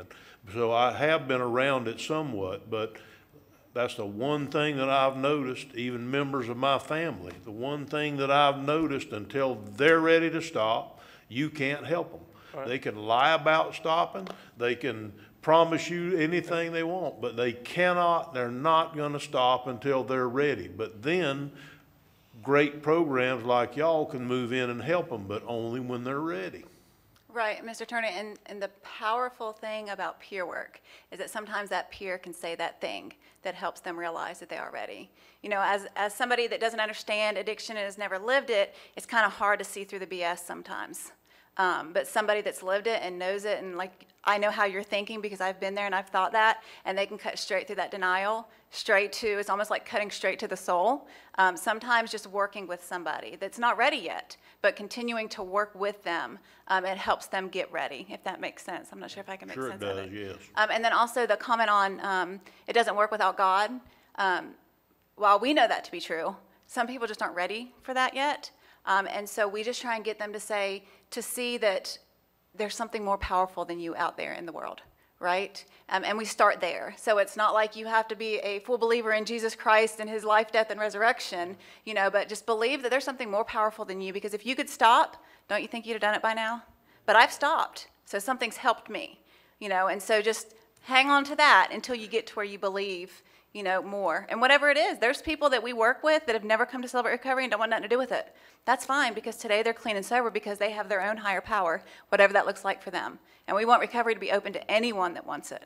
All right, we need to move on a little bit. We got a few speakers want to speak. I want to say one more thing to you. Guy Thought beside you you. said that last time. No, I, I know I didn't. I said, I said I was going to, but then I did, I said, I know Then it's you not. changed your mind. That wasn't the I- truth. I'm gonna give him a hard time, I can't help it. Hey, I'll gavel you down, buddy. I'm But- telling you right now. Okay, but all BS aside, okay? We got money going out of this county. It's budgeted to go out of this county. You guys are the spokes on the wheel. Y'all need to budget some money back into this county. Amen. back into, back into whatever, you know, what, wherever, how we, however we got to divide it up and move it, you know, the ones that works over here for Stewart Marchman or the ones that works for Celebrate Recovery. We need to figure out a way to fund this project. A summit's fine. Okay? That's great. We got to start somewhere with, with the big guys. But these little guys down here are suffering right now. They're being smothered by the drugs that are coming into this county. We can't, I mean, we, we, this is a uh, decades war, you know, been going on for decades, with war with drugs. But we got to figure out a way to help the ones that want to be helped, okay? I'm through. Thank you. And Wendy, I understand what you're saying, okay, what you said.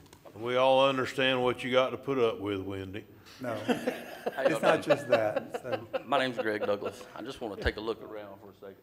I'm still waiting for the sheriff's department to come in here and get me. No, we're not. I, I never in a million years would have thought that I would be standing up here talking to the commissioners. Matter of fact, Jeremy told me, uh, just a couple of days ago, you know, about this meeting, so this is totally, uh, surprising to me. We put our pants on just like you do. I appreciate that, but, um, I've, I've been a Putnam County resident for forty-three years. I tell them my age. Um, I've been in prison three times, probably been in trouble more than everybody in this room put together. Um, I've been addicted to drugs since I was eighteen years old. um, all sorts. Um,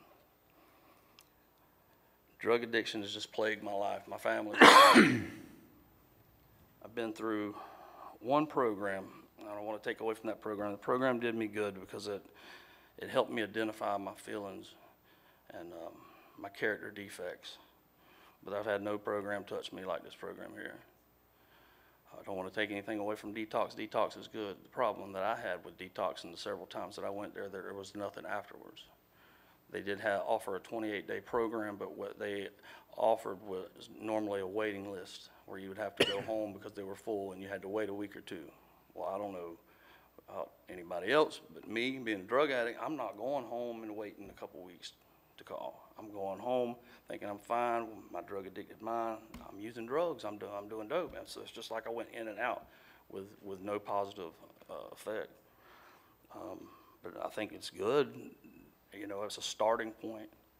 But what they're doing here is awesome. I'm gonna tell you, in all my years of drug addiction, and there's been plenty of them, this is by far the best program I've been in. Um, they're standing behind me. I ain't never had that. I didn't know how to have true friends. Nobody wanted to be around me because I was a drug addict. You need to hang around positive people. Well, I didn't know no positive people. Everybody I knew was drug addicts. You know, these people got an honest desire and they're sincere. They care about you, and that's what I needed in my life. They support me, they love me, and I, I don't, I don't know what else to say other than the fact that it works. And, and a drug addict knows a drug addict better than anyone else. Um, people, I've spent time in that jail and in prisons. There are people, a lot of people in jail and prison that want help, but they don't know how to go about it. I've talked to them because I've had recovery in me. And they just, they need that, that, that push.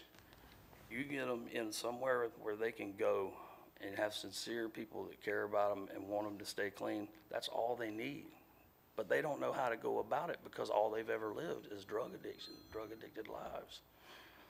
I just think what we got going on here is, is by far the best thing that I've, I've encountered and it works. So however y'all go about it, man, I just, I'm supporting them. That's all I got. Thank you. How y'all doing?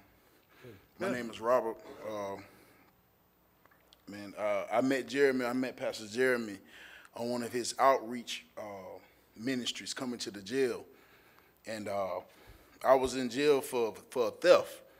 I'm, I'm, a, I'm a working man. I'm a certified welding engineer's apprentice. I've been building like ships and bridges and skyscrapers for 20 some odd years. And drug addiction has has plagued me for like the last 15 years of my life. And, uh, and it was a problem. And I was an undercover drug addict.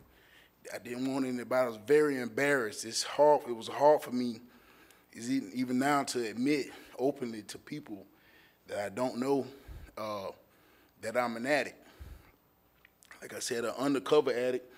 And Pastor Jeremy uh, spoke with me in the jail. And for some reason, I guess his spirit, I admitted to him because he asked me about it, and I was truthful to him about it, and he told me of this place. This is my first time in a in a, a recovery dealing with this issue. I've learned so much. I'm uh, right now. I'm about three months in. I have six months more to go before I graduate, and uh, I've learned so much in the last past three months than I've ever knew about drug addiction and dealing with things of this nature. And I feel confident. I, under, I, I, I got a lot of more understand. I got a lot of understanding about what drug addiction is and how to go about it. Uh, 12 steps. I knew nothing about 12 steps. I knew nothing about. I, I just knew that I was an addict, and um, this place has blessed me through Pastor Jeremy and, and, and, and the association and the people dealing with them has given me a lot, a lot of tools that I can use uh, toward dealing with this. And I heard uh, uh, one of you mention about you, you're not understanding uh, uh, addiction for me, in my experience, it's like looking left and turning right. It's, it's like wanting, you don't, you know that it's wrong, you know that it's bad. And if you ever hit a, uh, a dead end, you know that, and you just can't help it. That's what you do. It, Friday I get paid and I don't want to, but I go out and I purchase drugs. And the bad thing about it, I do, I've done things on drugs that would have never did sober with a right mind. It's like some kind of a spell, has some kind of a spell on you. Uh, would have never been going to jail for no theft if I had not been using drugs. I wouldn't have stole. I was stealing to get more drugs. So that's what I got out. Whatever they're asking for, I hope that you can give it because they're vi- very vital to guys like me. That's all I got. Robert, thank you. We do have to move on pretty quick, so come on up, sir. We got other people that want to, Hello, my name is Michael Light, and I'll try to um, summarize this as quickly as possible. I hear a lot of discussion, you know, about, you know, if we- I'm going to put this into a cost-benefit, you know, um, summarization for you. Um, I was a cocaine addict for 20 years of my life. I've been to prison four times for a total of six years. Just add this, please add these, add this up in, in a monetary fashion as I'm going through these. I've been arrested at least 12 times in county jail. I spent six months in a criminal forensic uh, hospital for uh, contesting a trespassing warrant. Um, literally, just off the top of my head, easily over a million dollars in money has been spent trying to punish me for my drug use throughout 20 years, um, with no result really. In 2015, as Commissioner uh, Turner was uh, discussing, um, an event happened that really changed my stage of readiness to for recovery. Um, I was fortunate. I enrolled in a, I was able to gain entrance into a detox, but unfortunately, there was no treatment facilities in this county or any others that had openings. they were talking like six months to a year wait list. So they ended up shipping me all the way out of Georgia. And this is back in 2015. I went to Turning Point. I was there for 30 days. After that, the hand of God came upon me, and I haven't looked back. I enrolled in college here at St. John's. I graduated with my associate's degree with a 4.0 GPA. I transferred to Florida State College at Jacksonville. I graduated my bachelor's degree last year with a 4.0 GPA. I bought a house last year. I didn't even have a bank account five years ago. I just bought a house last year in Bostwick over $100,000. I was pretty much homeless for most of my life. That is what recovery has done for me. Now, if you want to talk, you know, discuss where, if, if money becomes available, where it should go to, jails, jails, it's a waste, you know. This is money better spent. I'm now in my master's program, first year as a grad student at Nova, as a master's counseling and substance abuse education. And um, been recently got, had the blessing in getting involved with Jeremy and what they have going on with at um, Life Church. I believe that has been God's calling for me. I, I kind of believe that 20 years have been a training camp of sorts. But I wrap this up. I know you got to move on, but I just want to say if, you know, it's just come up on whether the money should be better spent on punitive or recovery. And, no. I, I, I agree. yeah, thank Where, you. where do you spend the money? We just got to reallocate it. All right, well, appreciate Wendy, your real quick. Thank you. Thank you. All right. We do have speakers that want to, okay. Good afternoon, gentlemen. I just have a couple things I want to add to what Ed said. You know, you're all talking about Celebrate Recovery, and it's a fantastic program. A lot, I know a lot of you have never dealt with addiction. It's more than just treating the body. Okay, that's what you have to remember. It's also treating your soul, which is your mind, body, and will. So, you know, if we're not treating that, you have that vicious cycle and that vicious circle where you, yes, you detox, you get out, you go to rehab, you come back out, you go back to where you used to be, and then you start it all over again because you don't have anything, you're not totally healed. So totally healing takes place when you have a program like Celebrate Recovery. I wish to God I had it when I was going through my addiction because I didn't. I had to claw and scrap my way through it all. So when I, when we moved here and I, when they started their program, I was like, well, let's see what the boots on the ground are really like. Are we really doing something or are we just having a fluff program to say we're doing it? I encourage each one of you to go to one of the meetings because you will be surprised at how many people are really, really seeking help. They're not just there to be seen. They're not there just to fill a seat. They're there to really get some help for everything, their whole makeup, not just their physical addiction. And that's all I have to say. Thank you, Wendy. Thank you. Alan? Paulin? Larry, Larry, can I say something? Yes. Mr. Adams, eh? So I've had the pleasure of working with Jeremy and his wife for the last few months and trying to help out with the Nehemiah project. And, you know, every meeting, my wife and I have said that when we go, you know, we've never been addicts, so we don't really understand. And we decided after the last meeting we went to to say that, uh, we're not gonna say that anymore because, you know what, we have our place to help just like everyone else does. And I do want to recognize the fact that Putnam County is unique because SMA is a player at those meetings as well, and other people come in too. And uh, not everywhere can you get the public and private and Christ-based things together in one room without it being done through a summit. And that's already happening. That's the beauty of it, is we can build on that into the summit. And I just want to recognize that, that some of that partnership is happening a little bit in the background. So, um, thank you. Mr. Paulin? Thank you, Commissioner. My name is Alan Paulin, and I'm uh, oversee our clinical and community services at Meridian Behavioral Healthcare. Um, And before I get started, I just want to really, really give a shout out to the peer community. Without the peer community, the success rate would just not be there the way it is, and it's You absolutely that up. critical. You don't have to bend down. I'm a little tall. If There you go. come up further? Thank you. That's okay. I just wanted to come in and add on with Stewart Marchman, um, what we're doing at Meridian Behavioral Healthcare. We have uh, obtained a license to move forward with a medication-assisted treatment program here in Putnam County. And we are, we have the full intent of moving forward to set up a service location at, for- here in, in, Mer- in these, uh, in this county. Um, That's going to include um, methadone treatment, Suboxone, uh, bu- buprenorphine, and also Vivitrol. So those are all options for outpatient detox. One of the biggest challenges will be when you want to come off opioids, but because of the side effects. As, as well-intended as you are with the side effects that come with that, this will alleviate those.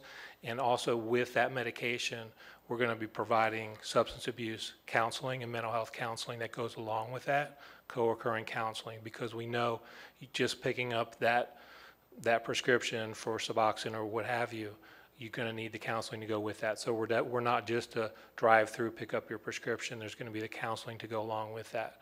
So I just wanted to add that to, to the discussion. Um, And Stewart Marchman, we've been in conversations, our CEO has been in conversation with Stewart Marchman to work together because we know this is a multifaceted issue. And again, you know, and the peer, we have over uh, 20 peers at Meridian, and we even have open positions for peer specialists at Meridian at this current time because we know how critical they are. And we would have more if we had the funding for those.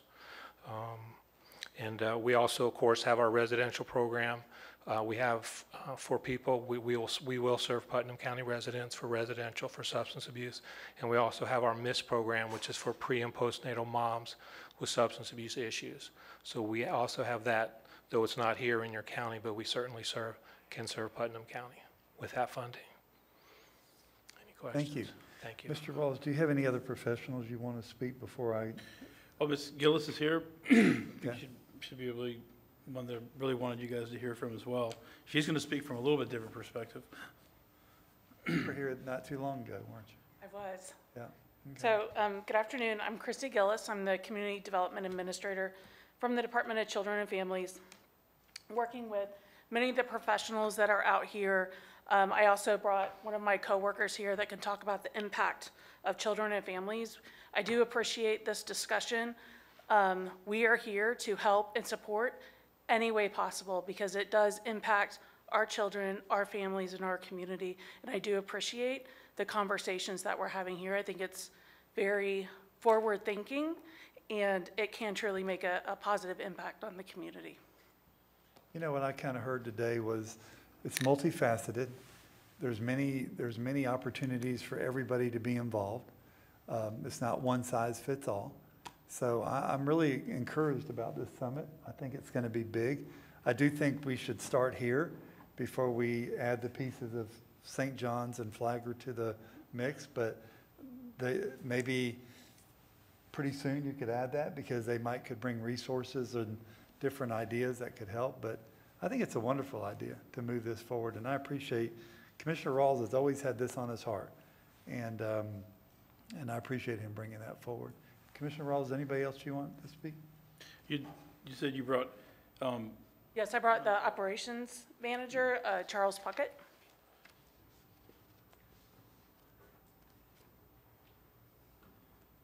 Thank you. I was here for moral support. I didn't realize I was going to get to talk too. You, you know what we learned in Tallahassee? You can just wave and support. Oh, yeah, You know, but no, we, we really and- like to get our, our hands dirty. And, and I will say this, the peers, it's a wonderful program. I'm, I'm over all of Circuit Seven for child abuse investigations. And substance misuse is the, the biggest reason for children being removed out of the home in all of Circuit Seven. It's, it's, that's the problem. Um, but peers have been great in helping us, um, reunify families and getting that support. Um, Stewart Marchman's been great. In fact, we started a pilot program in East Volusia and Putnam County that did reduce children coming out of the home. About a third of the kids that we staffed with Stewart Marchman, and when I say kids, I'm also including their parents, um, only a third have made it to judicial or non-judicial intervention. That's two-thirds that we've kept out of care. And it just involves us um, managing the family. When we first identify that substance abuse is a problem and a safety plan that's put into place, we're managing that. Stewart Marchman's been good about getting um, what we call a family intervention specialist involved to do a substance abuse assessment and then recommend them for treatment while we're all still involved, staffing these families weekly to keep our eye on the ball. Um, and that, that has shown a reduction recently since October in removals. Um, they went up. They went up during the um, pandemic um, in all of Circuit 7, you know, but since we've started this staffing process in October, they've started dropping significantly. Um, but there's more to be done, and, you know, just that, that ideal about the summit, that's a great, that's a great place to start. You're gonna get everybody at the table, um, you know, coming up with ways to tackle this solution, because the department for 20 years, and we've still been dealing with it for 20 years, and it started off with, um, the pain pills, and before that was cocaine, and now it's opiates, and, I mean, it's just, it's just one addiction after another that, you know, that we end up talking about, but it's the same core issue. Well, thank you. how, how many kids are in foster care right now?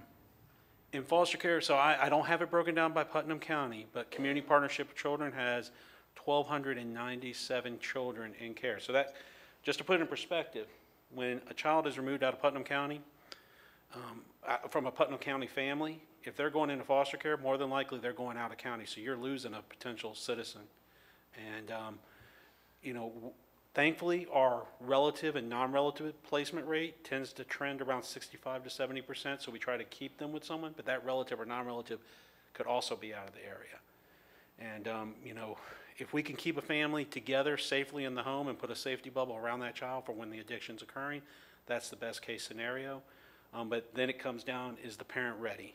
Um, are they ready to accept that they have an addiction and that they need help? And then that's where the peers are beneficial, our partners with Meridian or Stewart Marchman or any of our other, um, private providers. That's, that's where it's beneficial, but, but the client does have to want to start making that change. And so, Thank you. yeah, you're welcome. And uh, you're going to let us know on a future date of a meeting? For the summit? Yep. Um, I'll get with Suggs when he gets back, Okay. and we'll, we.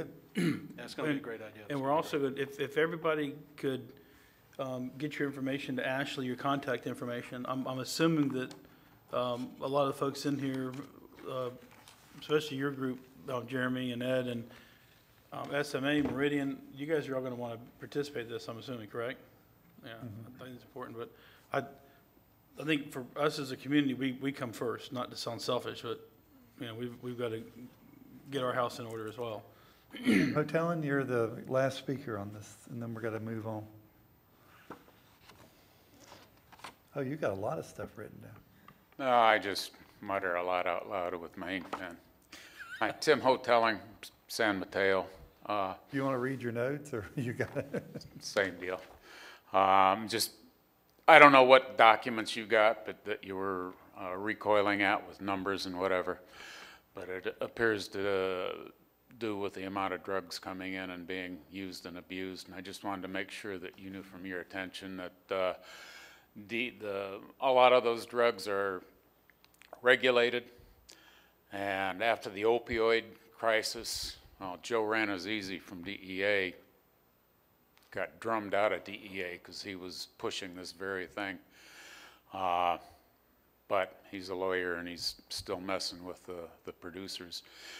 Bottom line is DEA goes out and makes controlled buys of various kinds of, of drugs just so that they know the chemical compound and the markings on the packages and things like that, uh, as well as uh, the prescription end of it that's full of statistics so that they have quite a knowledge. Uh, I, FBI also chases doctors that are running, uh, prescribing more than they can, which is what you're talking about. I would suggest that in your roundtable, you include those folk and probably separately and, and uh, prior, you should invite them here to give you a, a show and tell as to what they know about it. I would encourage you to write a letter from the board with your signatures uh, saying, gee, we have these numbers, uh, you know, rather than just go through Gator. I mean, y'all, it has the power and send it to the, the various special agents in, in charge of the DEA and the FBI. Tell us what you know about our problem. Tell us how much assets that you've been applying to this and tell us what you're going to be doing for us in the future. Because they have a lot of places they can send their manpower, and I haven't seen that they spend a lot of it here. Tim, thank you so much. All right, good. We'll look forward to that future date and appreciate everybody that came to, yes, ma'am? Come up, speak real quick. Yep. I really don't have a lot of time because I have to pick up my daughter, and so I don't have much to say. Um, Well, At the time, I really am just, um, there Would you for- speak into the Oh. microphone? Um, I'm there just for my certification right now for a peer specialist. Um, so I'm doing most of my volunteer hours right now with Miss Diane. Um, so basically, she just made these folders so that I could represent them to you guys. Um, she wasn't able to make it today due to um, conditions of possible um, coronavirus. So um, I know her. I know- yeah. What's your name again? My name is Jessica. Jessica, okay? Yes, sir. Um, so I too am also a recovering addict from substance abuse. Um, never would have imagined in a thousand years that that would have been the case. I come from a line of ministry and things like that. Um, so, you know, I feel like I wanted to give back the same love and the hope that was given to me. So that is why now I want to be in this field. Because as Mr. Terry was saying, um, we cannot force people into recovery, but we can also be a helping hand and a guide and just a voice and advocate, you know, things like that. Um, it took a while for it to click. I mean, I've been to rehab three times. I've been in and out of the Putnam County Jail and things like that, but I had to come to a realization that it was time for change. So I had to take the steps to make that happen. So, um, just wanted to represent that to you Thank you. guys and And you'll be part of that summit also? absolutely, yes, yes. Good, thank you. Yep, Thank you. All right, thank you. We're going to take a two-minute recess, and we're going to be right back. Before we and do, go real to- quick, if I could just say, one- I am really, really proud of everybody who got up and spoke today, ha- had the- having the courage. Because it, it does, it takes a lot of courage to, to admit that you have a flaw like that, but just to rise above it and then to be able to get out um, and be a peer mentor and, and help other folks. Um, And your testimony, sir, you're doing great. Thank you Two-minute very break. much.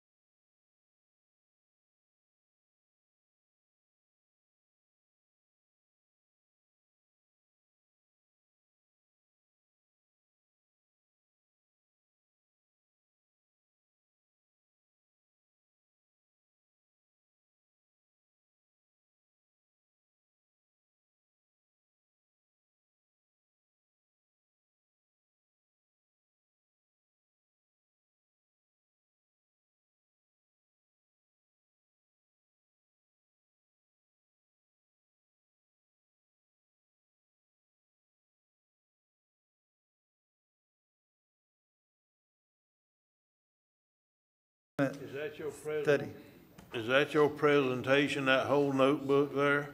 Could you just skip through all that, and just tell us how much money you want? No, no, I just brought it up in case we needed any data, that's all. I Okay. promise you, I'm not gonna bore you with How that. much money is your study? I don't know that yet either. Uh, but- Okay? But, but what we're So need to you want do us to authorize you today to go find out how much a study would cost? as a consensus, is, do you guys want us to go through? Okay. I do. I Okay, the steps of that, I mean, that was what the, today's mission was. But I have a was to- question for you. Yes, sir. We know that there's some counties around us that have already done this. Right. And they've already used studies and they've, they already have the methodology. Mhm. I've asked for that. I've not gotten that yet. Okay. I would like to see that Okay. because I'm not so sure this commissioner wants to spend money on something if we can just, we have other rural counties. We can just, plagiarism is pretty good in my opinion, so. Okay. Um, But I mean, if we have to, we have to. Don't get me wrong. Somebody has to do the study to- for our demographics. I got it, I Understand how get our it. county's laid out and how we want to, how we want to do the funding. But they might not have to do the full study. They might just have to do the methodology based on what we want to do. Correct, correct. Good. We, we've been to one of the counties. I've got one of the complete studies. I don't have it via email. I do have paperback copies of what they printed us from their studies down, we, when we went down and visited Lake County. Okay, good. So good. they do have, we do have a copy of theirs. that's We got available. I Baker just- I County? give- I got a paper copy. I can absolutely make you a And. Baker County too, I think it was? Not have one for Baker, but I'm sure Mr. Commando could help us with Yeah. that. Didn't Okay. Columbia County do one recently? Or don't they do, sure. don't they have I I would have to look. I mean, I, I haven't really studied the counties right now. I knew Okay. Lake had put one in, with this- in somewhat of a similar situation to what we were, so we. Hang on, we- Mr. Turner needs you. Oh, Mr. Chairman, I'm not advocating that we waste money in any way, shape, I or know. form, but I'd like for this again to not bog down in the particulars and just go ahead and let him start the first process. We have, won't cost us anything to find out how much this study will cost. And then I'm sure that Director Grimes is gonna go and look at other areas and whatever, ever, all the information he can get his hands on, and I'm sure that whoever, if we end up hiring somebody, would do the same exact thing also. So, uh, if that's the case, I'd like for him to be able to go ahead and move forward today with at least starting the process of how much it would cost. I mean, if it's ten thousand dollars or something like that, then why are we even bothering? Let's get it done. You know, if it's a hundred and fifty thousand, we need to talk about that, about how we can plagiarize other areas and do whatever the case may be. So, so, you know, I, I'm there to support you, but there is a, a, a price tag. Oh, I, I, I agree. I mean, and we'll, and we'll reach out to the, the surrounding counties around us and figure out, I mean, we can find out what they paid for theirs and Okay. the area we're in, and we can reach out to some of the consultants they used and, and- and get prices. My That's- two that's not an issue. commissioners on the left hit the button at the same time, so they're both, but Commissioner I'll yield Ross has the el- I'll conceded yield till to the elder the statesman. vice chairman, so. Wa- Wasn't there some type of study done just a few years ago? It was oh two, We wasn't had it? one done for Putnam County in two thousand and, I think it was two thousand and three. Fifteen? Yeah, No, two or this was. Was there, was there a 15 or twenty fifteen 16, as yeah. well? There, They there were was one proposing, Uh, an- they were proposing You an remember, we, MSBU, we discussed 75. this as soon as I got Yeah, elected, yeah. because I remember Chip was, Yeah. they brought, um, they brought people in and, and But I don't talking think we about what ever it was gonna finished it up. No, It we was can- never direct, Seventy-five dollars per household and a hundred something or two hundred something per. I never saw those numbers. The presentation was in the, the small, Yeah, but I never, Yeah, they had, they made us a presentation. What was killing us was, was the commercial, so. yeah, I do mm-hmm. remember that now, okay. Okay, but you just start and you'll bring us back a price of what it's gonna cost. yeah, I mean, I- after. if there's a two thousand fifteen study, I'd love to look at it. sixteen maybe, yeah. Two thousand sixteen, I, I, I didn't, was not aware there was, was one, but we can definitely take a look at that, who did that one, and see if there's some adjustments we could be made to that. I don't know if that document ever really landed. I think, uh, I I f- I think a found one talk from twenty happened, but I that was don't. directed at I just saw a town. presentation, I never saw. Yeah, I don't think, I'd of- just say check into it. If you Yeah. need, a- if you need a study, JR, tell us how much it is. okay. We're definitely gonna have to have somebody lay the demographics out for us and try to put it on some kind of sliding scale, or, or however you guys wanna adjust any type of, that's I totally up to you would guys. definitely like to do that rather than to rely on old information that's really not gonna move us forward, Right. so. Old or somebody else's. Yep. Mr. Rawls? I have an aversion to a sliding scale. I think it should be equal and undiminished. Um, we have ad valorem taxation, that is your sliding scale. This is something, just like trash collection, everybody, um, needs. It makes us sleep better at night knowing it's available, and I think we should all be paying equally on that. That's just my two cents on that one thing. I also think that we have an opportunity to utilize our fire committee that we, that we formed, bring them back to the table, and get them, um, the data from, I, I believe Columbia County has, a- uh, has an MSBU, but definitely Lake County, um, What is Alachua County doing? Are they running MSBU or, No, I think they're, I think they're, uh, ad valorem funded. okay? But look, you know, maybe give that to them and let them go through and, and digest it and come back with a recommendation. Maybe they have an opinion about it. It worked well, you know, to get us where we are, you know, right now. And, um, this is our citizens talking for it, talking to us and for us. So you're recommend, so you're asking me if I had to look at the Lake County study, is that, is that what I'm gathering, or did you? Yeah, have a well, particular- whatever, whatever, whatever we can get, um, get them the information and then let them take a look at it and let our, our committee make a recommendation. It, th- one of their things was they, they, they were in favor of moving forward with a, a, a fully funded fire rescue service at some point in Wow. Putnam County's lifetime. Um, and maybe this is an opportunity for them to finish up what they started. But I think that Commissioner Turner's going to be right. We're going to need to know the numbers before we, but I, I don't disagree with Commissioner Rawls about the Citizens Committee. Mr. Adams, Act? Yeah, I mean, that was one of the priorities of the Citizens Committee. I think I brought that up on that day. Um, I'd love to see that. I don't know that it has to be the same group of people. A lot of those people have changed roles and changed things, so maybe we start a new committee where it's part of it's volunteer again, part of it's paid professional, and part of it's basically someone that we nominate, and, uh, maybe the chairman or vice chairman head it up or something. But, uh, I'd love to see that committee regardless of this particular item. I, I think that's something we need to, going forward forever. So I think that should be one of our standing committees for the county. So I just wanted to add that. Mr. Turner? I have no problem with opening another committee if y'all wanna do it, that doesn't bother me at all, as long as we don't use that as an excuse to bog something else down around here. I mean, we're gonna study something, let's study it. If I we're don't not- if wanna- we- I'm ready to move I mean, forward. Let's find out what this costs, move forward, if it's underneath the threshold that you and the, ch- and the, uh, county administrator could just go do it. I mean, we all agree that it's needed. Yeah. And we know you're gonna be frugal as you can possibly be with the taxpayers' money, I know that at the bottom of my heart. So, if, if you, if they, if you suit him, and he, he suits Suggs and all, I just say y'all go on and do it, I don't need to see this again. I mean, if you need a study, look, find all the information you can find, and present it to your chairman and your administrator. They- Unless it's gonna be over the amount they have to pay. I mean, and then you need, you're gonna have to bring it back here, but other than that, you have this commissioner's consensus to move forward and get it done. If I could, Mr. Adams, that- if I could hang say on. one more thing real quick. Um, You guys had a number between eight and twelve million. After that last, it was eight point eight million is what they came up with. So That who come up with, I'm the just, committee, okay. um, when you guys looked at it, or you, you weren't on board at the time, when the committee, when the committee did, that was, they were looking at, um, eight point eight million. So knowing that there, you know, just if, if you went from a hypothetical p- position, eight, eight, nine million dollars, and you've got, you know how many residences are in the county, how many businesses? There's 90,000 accessible lots if you take out the city of Palatka. Can you do an MSBU on vacant land? Yes, Yes, you the can. city- Okay. the ci- That's that's the So- way the cities is. So if you, if you take your, your houses, thirty-nine thousand plus or minus, um, and then your, your vacant lots, take a, take everything, then the math So is we're gonna take simple. this discussion today, and we're gonna turn it into whether or not we do a fire MSBU. This is, a- he asking us for a, a damn doing it. study. We're doing Not it. on, I understand, but really, we're gonna, the- we're gonna the point turn that into a, an MSBU? Cause I'm not for that Well, at that's this what the point. conversation's about, is an MSBU. No, sir, it's not either. Let's uh, have No, it's that, not. let's have No. that, oh, get the study, let's get, go. Is that what your study's about, rather to form an MSBU in the county for But that's fire what Lake services? County is. Cause if it is, I'm not for it. Well, I mean, it was, because it's been mentioned multiple times from the dais to come up with alternative funding for fire services. Okay? So That's my words. that- That's what the funding is. What, I mean, it's got to be determined by you guys, what, how we go about it, but we have to have an. al- Things, things that we need within the system, that's what we're talking about, right? That's what the study is, a fire assessment study, right? No, It's, it's just for, this is for funding, Funding. funding of the fire service. alternative funding.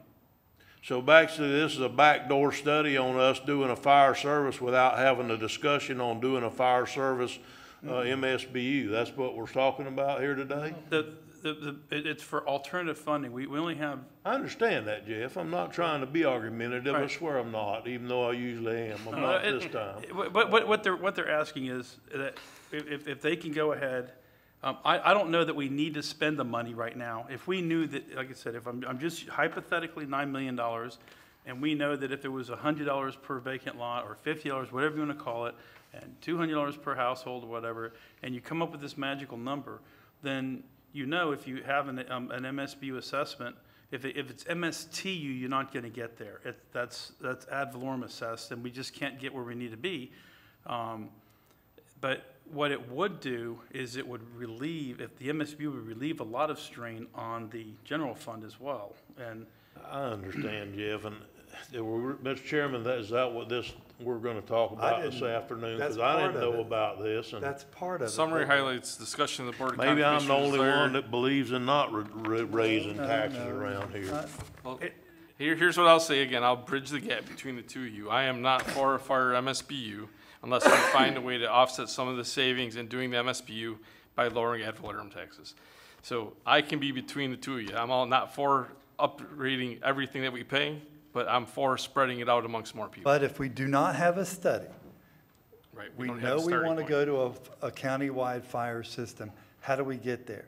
And will a TU solve the problem or a BU? I don't know the answer to that. can't That's- raise the millage rate on a TU. That's what I'm saying. So you're gonna have to bring that back to us, the price of the study, and let's look at it. And then we need to make that correct decision. And that's where we're gonna go from here. in my With a direct offset, a Right. direct offset in, in ad valorem tax Correct, reduction. correct. Exactly. Because if there's no deduction, the, the net We tax. all is agree go- with that. I'm with net you. tax I has agree. got I to be got it. less. I I'm not gonna vote to raise taxes I'm not again. either. Right, well, so what, it- what the net effect would be is, the folks that are paying, um, ad valorem, um, would see a significant decrease in the ad valorem side. Uh, the folks that are paying nothing on the ad valorem side would be participating in what, in, in the same benefits that we all have to pay for. But I, I think we're just, we're, we're at that interesting juncture between a rock and a hard place. We can't go up on ad valorem. We only have one direction to go through, and that's gonna be a fee base, whether you call it an MSBU or a fire service fee or whatever.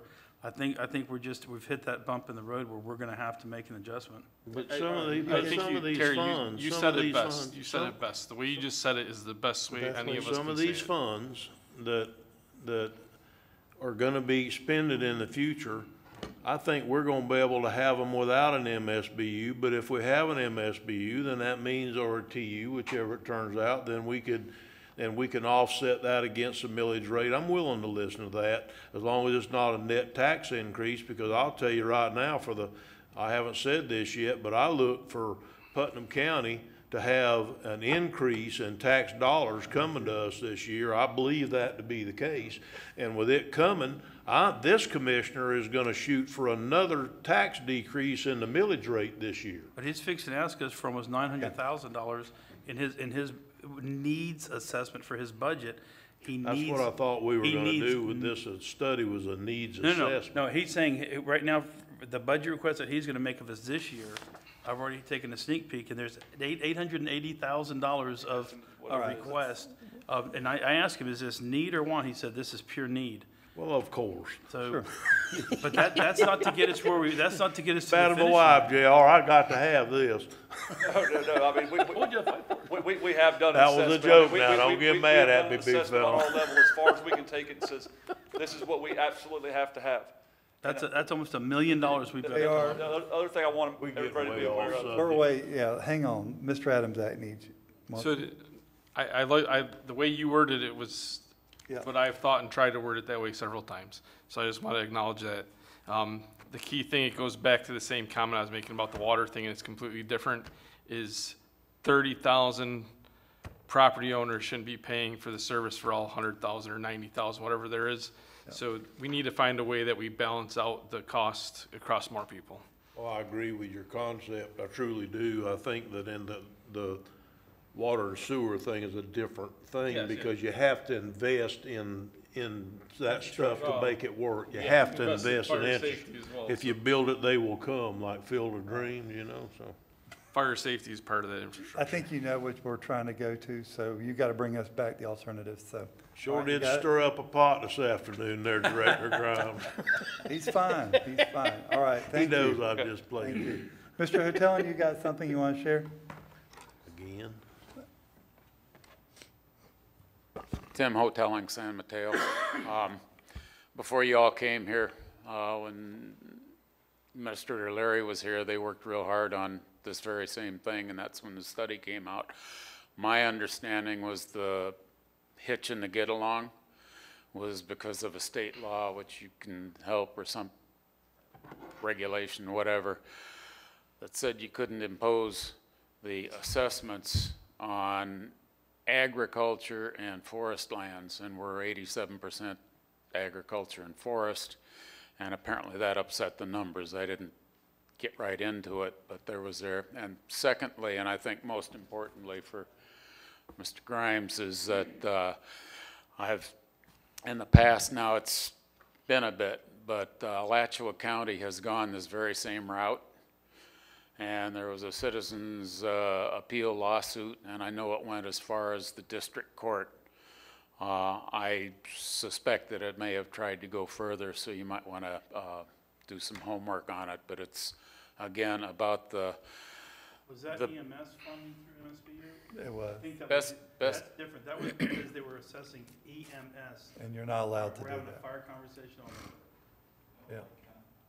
Yeah. It. Yeah, right. Maybe, my, my, I was just on, on the radio and, and a little bit of homework. The best of my knowledge, it was a combined thing also. And, uh, or it's under that same concept, and the, the litigation was, can we or can't we, which is pretty much that. So it'd be worthy of a, a few minutes to make sure that it's legit. All right, thank you. Uh, Commissioner comments, Mr. Adamchak?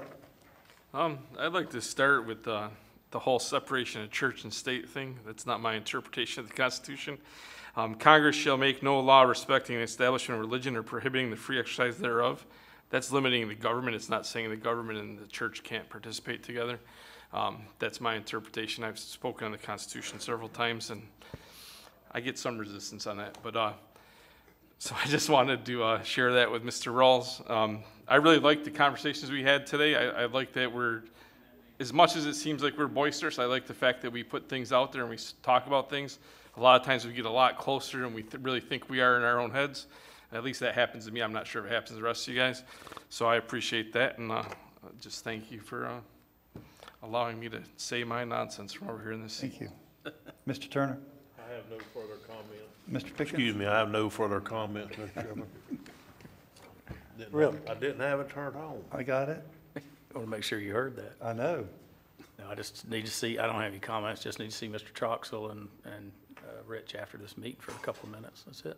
You want to flip a coin? Who gets them first? I get them first. Okay. You, you probably have Didn't sound paper. like much of a coin flip to You me. you probably have papers to He's sign. vice chairman. He's coming up the ranks. You you got to know. sign something, I'm sure. Mr. Ross? I just want to thank everybody for your participation today. This is something I've, I've been really wanting to get out. It was actually on my list of priorities, so. That's what I was saying. We're going to Right. get to these things Yeah. because of that. Yeah, so that, um, you know, I- this is something that I, I think we can all hang our hats on, um, when we work through it, and it, it's gonna help our community. Um, the biggest thing is, we all set up here in a non, non-judgmental way. You know, that one gentleman said, um, he was so nervous to be in front of us. And I think that's, that's the barrier we need to break down, is to let them know that, um, as a community, we, we understand people are gonna fall. They're gonna have their fall from grace. We can help them get back up. We can help them, um, get the help they need and, um, be productive citizens of our society instead of being a burden to us. And I think this thing is going to be a lot bigger than you can imagine when you start peeling the onion back. But I think it's going to be a good, a good thing at the end of the day. And it's really going to move our county forward. And um, then we'll find out where our baby's ugly and we can clean it up. You know, I mean, that's the bottom line. County Attorney?